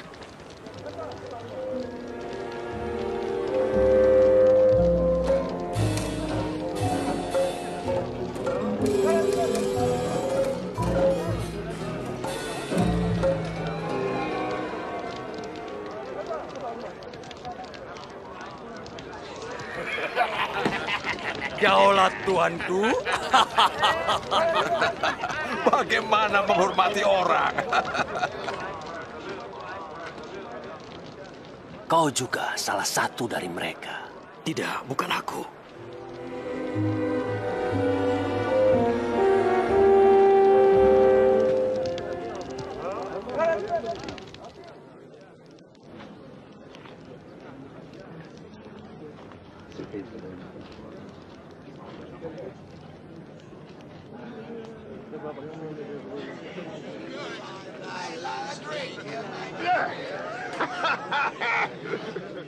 Pasti orang ini adalah pengikut Isa. Sebab ia juga orang Galilea. Pergilah. Aku tidak tahu apa yang kau katakan.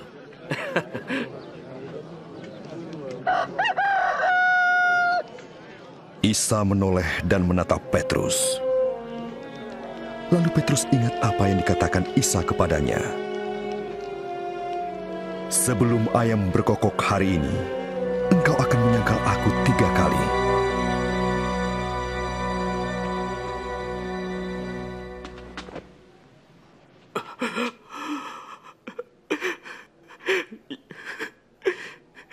Ya Allah, berbuatlah sesuatu yang kau kendaki.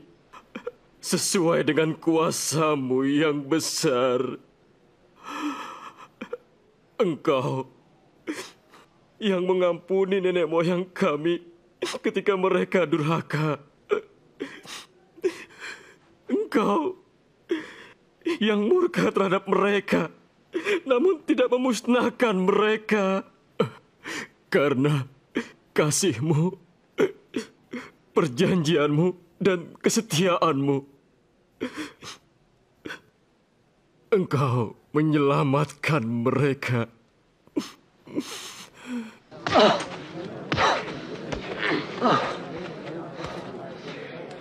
Siapa memukulmu? Tebak. Coba tebak. Ha? Siapa berikutnya? Sudah. Berhenti kataku. Bawa dia ke mahkamah agama. Ayo.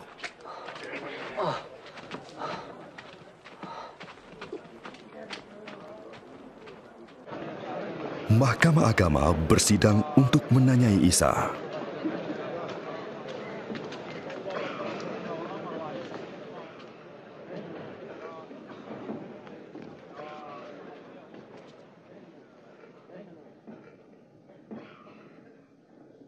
Katakan, apakah engkau Al-Masih?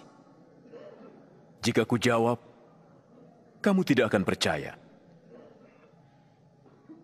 Jika aku bertanya, kamu tidak akan menjawab.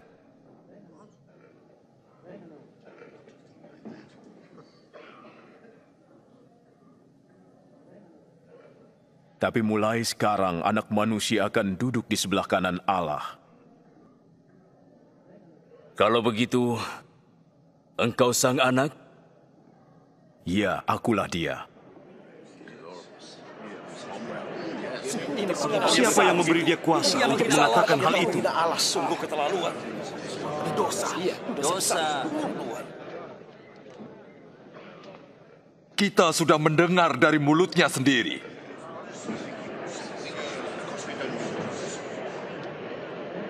Bawa dia ke Pilatus. Kita usirkan dia. Ya, Ya, ya. Keluarkan dia dari sini. Nyahkan dia. Usirkan dia Pilatus. Ya, usir dia.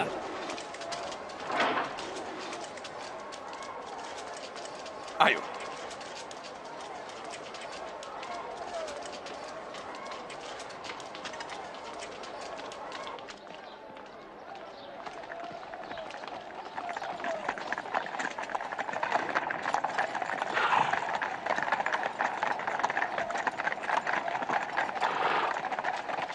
Mereka membawa Isa ke hadapan Pontius Pilatus, gubernur Rom yang kejam, yang telah menyalibkan ribuan orang.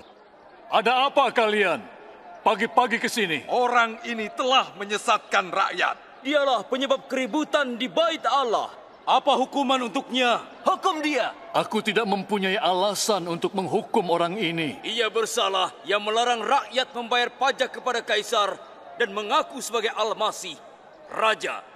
Raja? Engkau Raja Bani Israel? Ya, benar. Ia mulai dari Galilea dan sekarang sampai di sini. Di Galilea? Dia orang Galilea? Kalau begitu, serahkan dia kepada Herodes. Bukankah ia masih ada di Yerusalem? Bawa dia ke Herodes.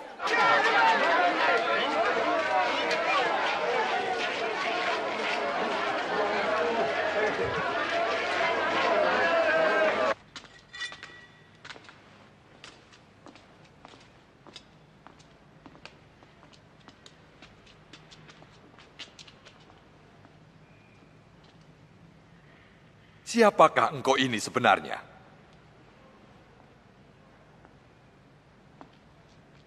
Siapa saja yang menjadi murid-muridmu?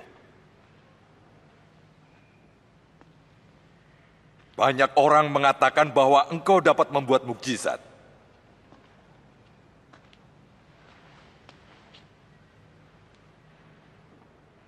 Buatlah mukjizat sekarang. Tuanku, ia telah menyesatkan seluruh rakyat. Ia menyebut dirinya raja. Orang ini raja?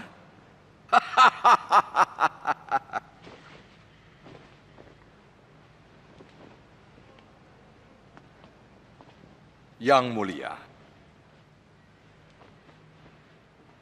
hajar dia.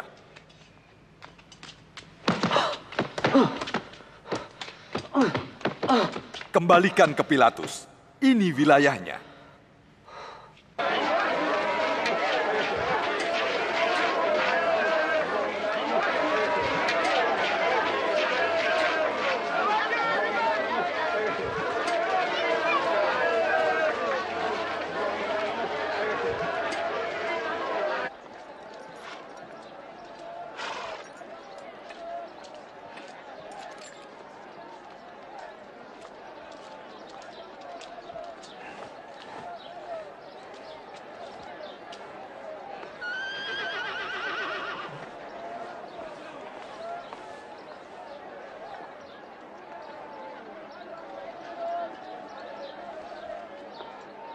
Orang ini tidak pantas dihukum mati.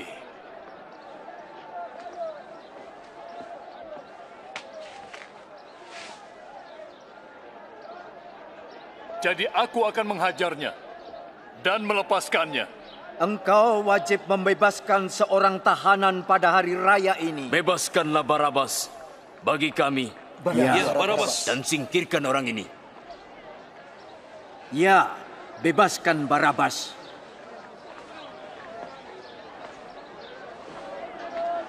Salibkan dia. Ya, salibkan dia. Kamu, kamu, cambuk dia.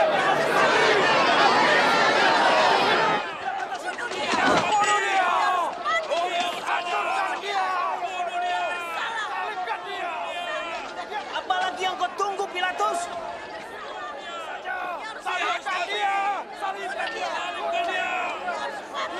Dia Isa.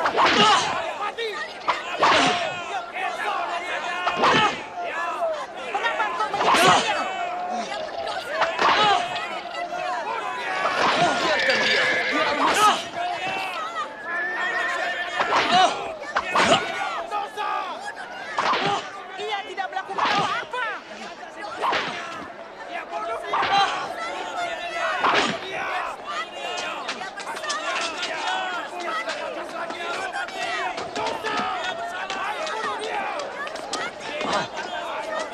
Suruh dia berdiri. Tapi mereka terus berteriak dengan keras agar Isa disalibkan.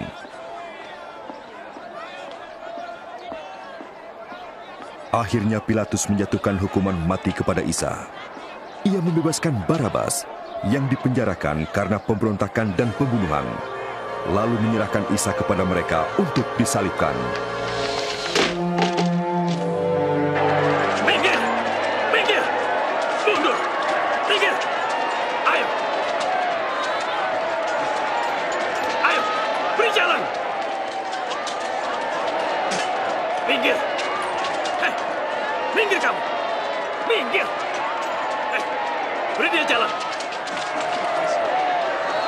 Minggir kalian! Hei! Minggir kamu! Ayo jalan! Bangun! Ayo bangun!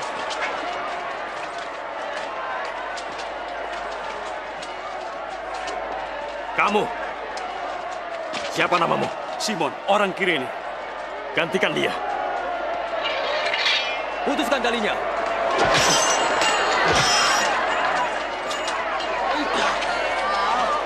Kau, pikul ini. Ayo jalan, cepat. Mundur. Mundur. Ayo, berikan jalan.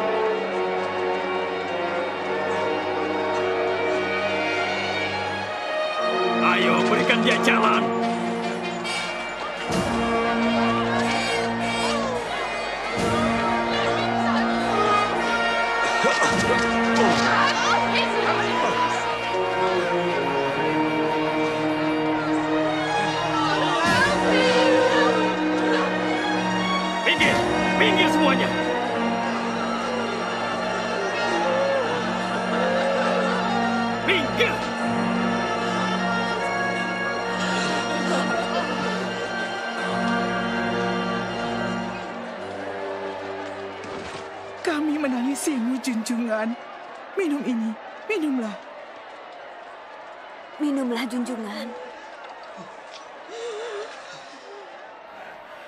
Yerusalem, jangan tangisi aku, tapi tangisilah dirimu dan anak-anakmu.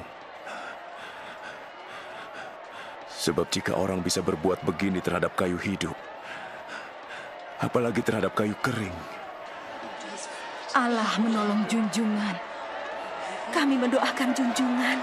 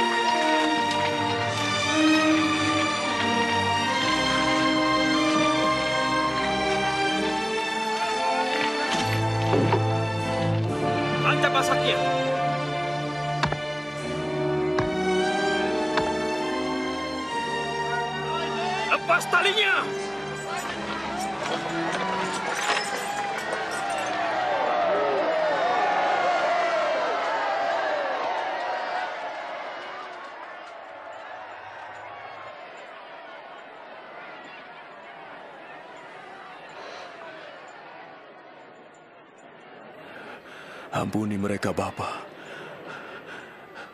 Mereka tidak tahu yang mereka perbuat.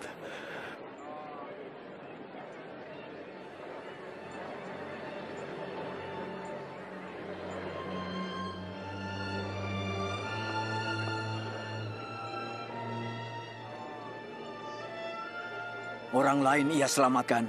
Biarlah ia selamatkan dirinya. Ya, jika engkau Al-Masih, selamatkanlah dirimu. Turunlah dari salib. Tunjukkan salah satu mujizatmu.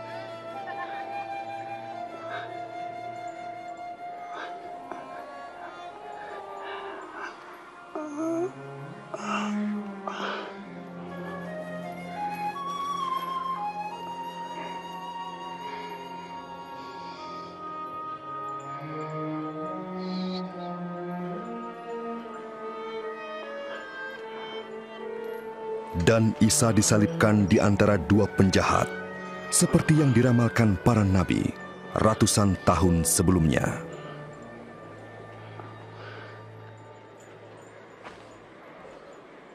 Inilah dia jubah yang ajaib. Sini, ayo. ini milikku. Tidak, jangan dibagi. Mari padaku. Kita undi saja. Ayo, kita undi saja dulu. Iya, Ayo, undi. iya, ayo. Ayo. Aku pasti menang. Ayo. Sini. Eh, tidak aku yang bisa. menang. Pasti Ya, aku yang ayo. menang. Lihat ini. saja nanti. Ayo. Ayo. Ah, Aku yang menang. Akan kau apakan jubah Selalu menang. Iyalah. Yang menang.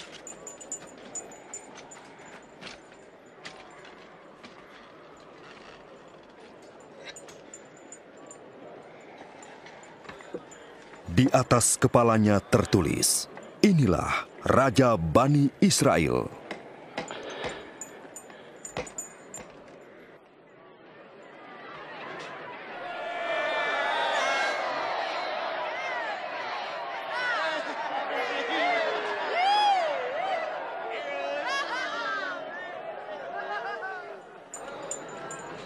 Selamatkan dirimu jika engkau Raja Bani Israel.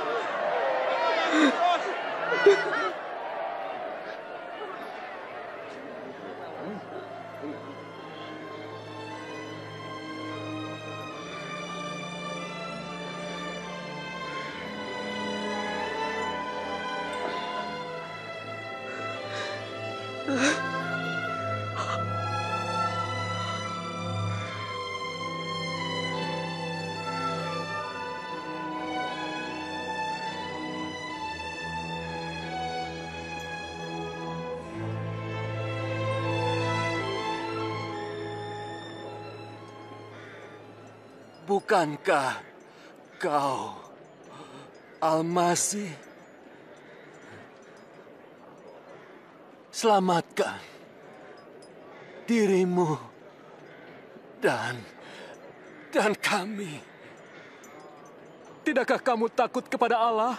Ia menerima hukuman yang sama sepertimu.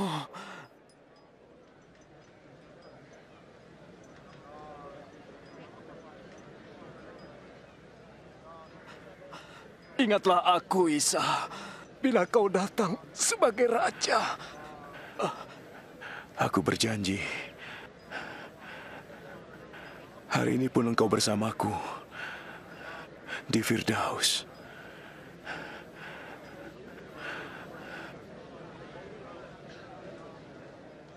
Waktu itu kira-kira tengah hari. Kegelapan meliputi seluruh daerah itu sampai menjelang sore.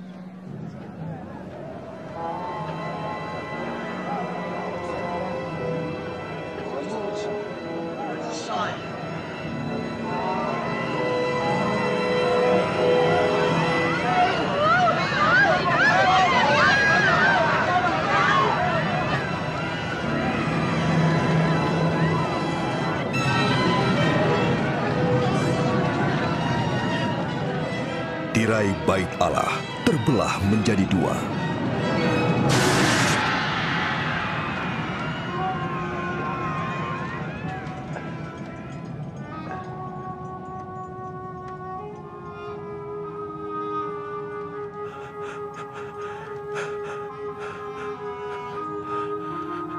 Ya Bapa. Ke dalam tanganmu. Kuserahkan nyawaku.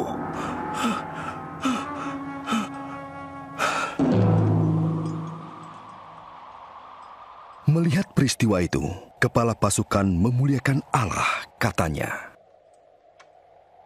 Terpujilah Allah. Sesungguhnya dia ini orang benar.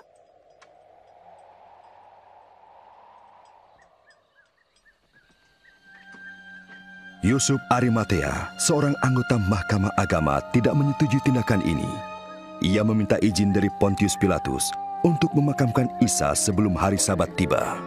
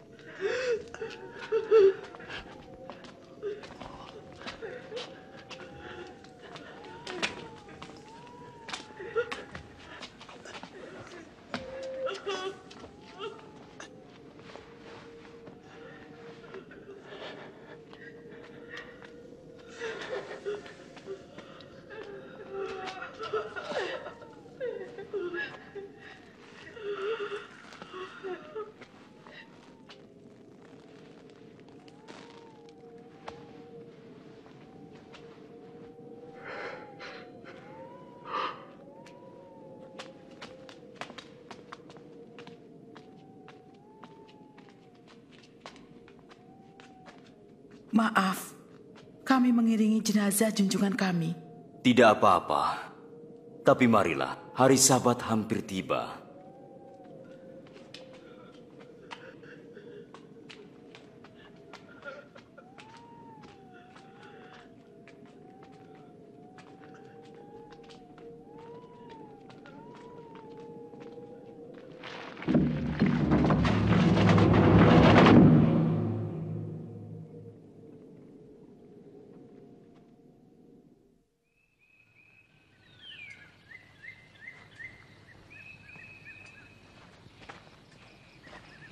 Pada hari Ahad, pagi-pagi benar, perempuan-perempuan itu pergi ke makam dengan membawa rempah-rempah.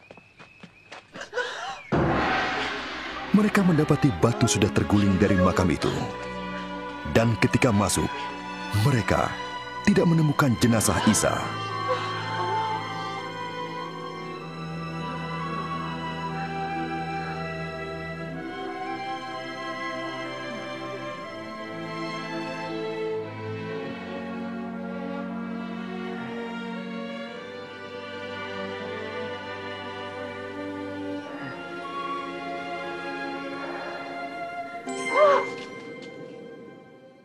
Mengapa kamu mencari dia yang hidup di antara orang mati? Ia tidak ada di sini. Ia telah bangkit, seperti yang telah dikatakannya ketika di Galilea, bahwa sang anak harus diserahkan ke tangan orang-orang berdosa, disalibkan dan bangkit pada hari yang ketiga.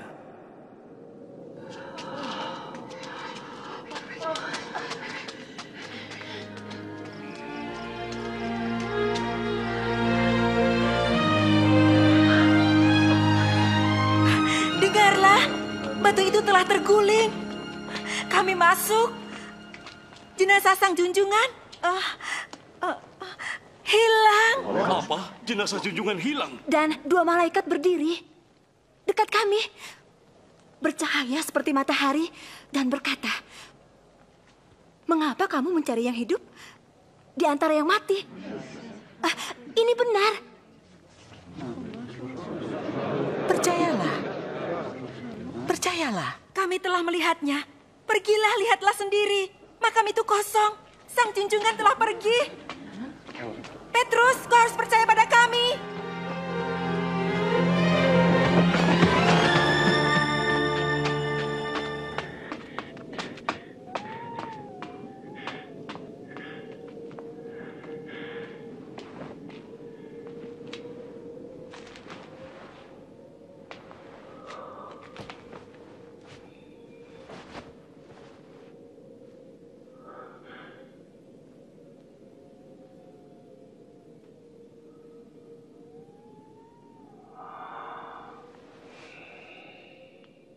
Isa menampakkan diri kepada dua orang muridnya. Mereka kembali menjumpai kawan-kawannya dengan gembira. Sang junjungan memang bangkit. Ia menampakkan diri kepada Simon. Kami tidak mengenalnya. Tidak di jalan. Tapi waktu ia memecahkan roti, kami mengenalnya. Di Emmaus. Kenapa dia pergi ke sana? oh. Damai bagimu.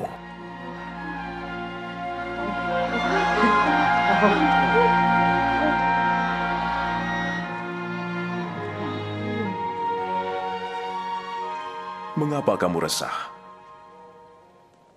Mengapa timbul keraguan dalam pikiranmu?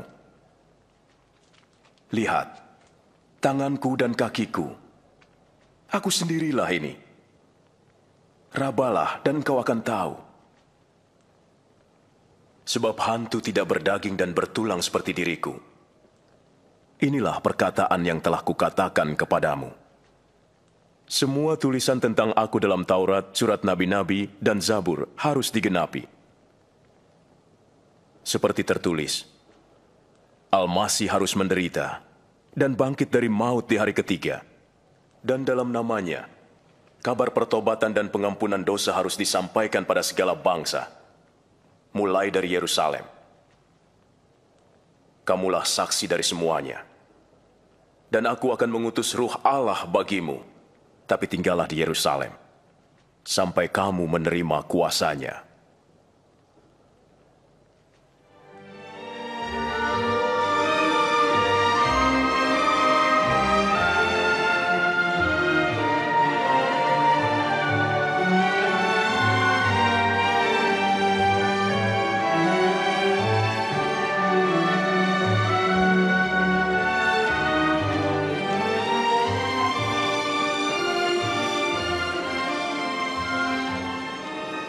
Kiranya Allah memberkahimu. Kepadaku telah diberikan segala kuasa di surga dan di bumi. Karena itu pergilah, jadikanlah semua bangsa muridku. Permandikanlah mereka dalam nama Bapa, Anak, dan Ruh Allah. Ajarlah mereka melakukan segala sesuatu yang telah kuperintahkan kepadamu. Dan ingatlah, aku menyertai kamu senantiasa, sampai kesudahan zaman. Amin.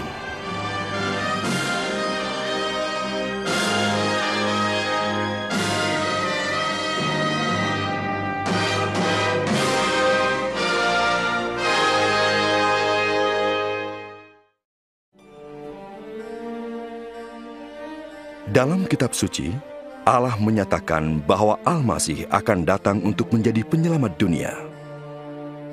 Kehidupan Isa membuktikan bahwa memang dialah yang telah diramalkan oleh para nabi.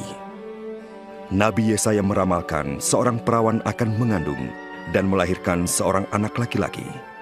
Berabad-abad kemudian kelahiran Isa menjadi penggenapan ramalan tersebut. Kitab suci menyatakan bahwa bayi suci itu akan disebut sang anak yang datang dari Allah. Ini berarti Isa akan disebut demikian dalam pengertian rohani, bukan jasmani. Kita melihat kenyataan ini melalui kehidupannya. Ia menyembuhkan orang sakit, mengampuni dosa-dosa, membuat orang berbalik kepada Allah, dan menjanjikan suatu tempat dalam kerajaan Allah yang kekal. Ia menyerahkan dirinya sebagai suatu kurban dan bangkit lagi mengalahkan maut. Semuanya sesuai dengan rencana Allah. Isa bersabda, Tak seorang pun dapat mengambil hidupku dariku. Aku menyerahkannya menurut kehendakku sendiri. Kehidupan Isa tidak hanya mengenapi tulisan para nabi, tapi juga meneguhkan kebenaran firman Allah yang suci. Para nabi menyatakan, firman Allah itu sempurna, firman-Mu kekal ya Allah. Isa sendiri bersabda, langit dan bumi akan lenyap, tetapi perkataanku tidak akan lenyap. Isa datang untuk memberikan hidup yang bahagia. Tetapi ketika dahulu manusia tidak taat kepada Allah di Taman Firdaus, manusia telah memilih jalannya sendiri dan tindakannya itu memisahkan dia dari sang kalik. Kitab suci menyatakan, semua orang sudah berdosa, dan upah dosa adalah maut. Ini berarti kematian rohani, terpisah dari Allah untuk selama-lamanya. Allah menyediakan domba jantan sebagai pengganti anak Ibrahim. Demikian juga ia mengirimkan Isa Al-Masih untuk mati menggantikan kita.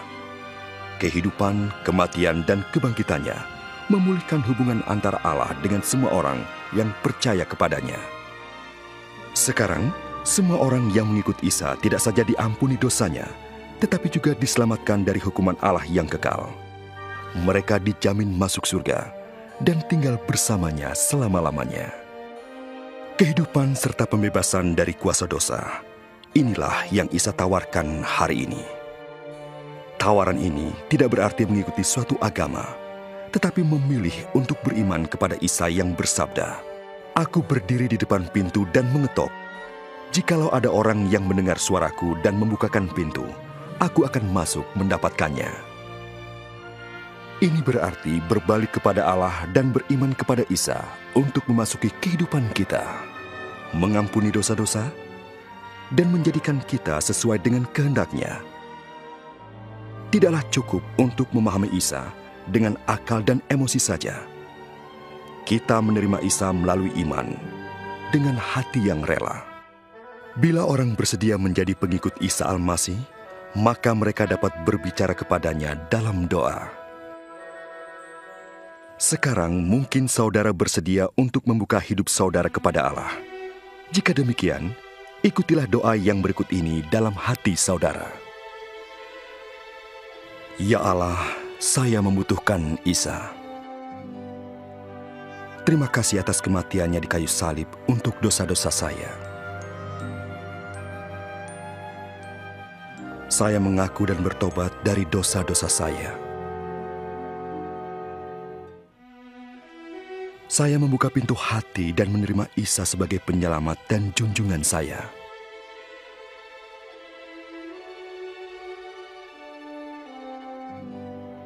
Terima kasih, Engkau telah mengampuni dosa saya dan memberikan hidup yang kekal.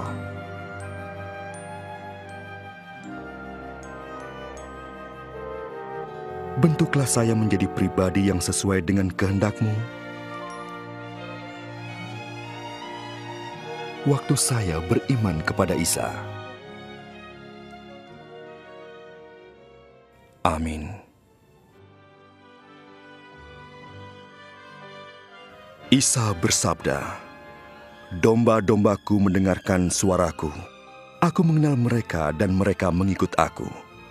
Untuk mengalami hidup bahagia yang dijanjikan Isa, orang-orang yang beriman kepadanya berdoa kepada Allah setiap hari dan membaca firman-Nya.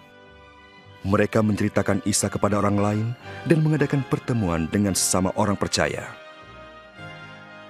Ingatlah janjinya yang indah. Kepadaku telah diberikan segala kuasa di surga dan di bumi. Ingatlah, aku menyertai kamu senantiasa sampai kesudahan zaman.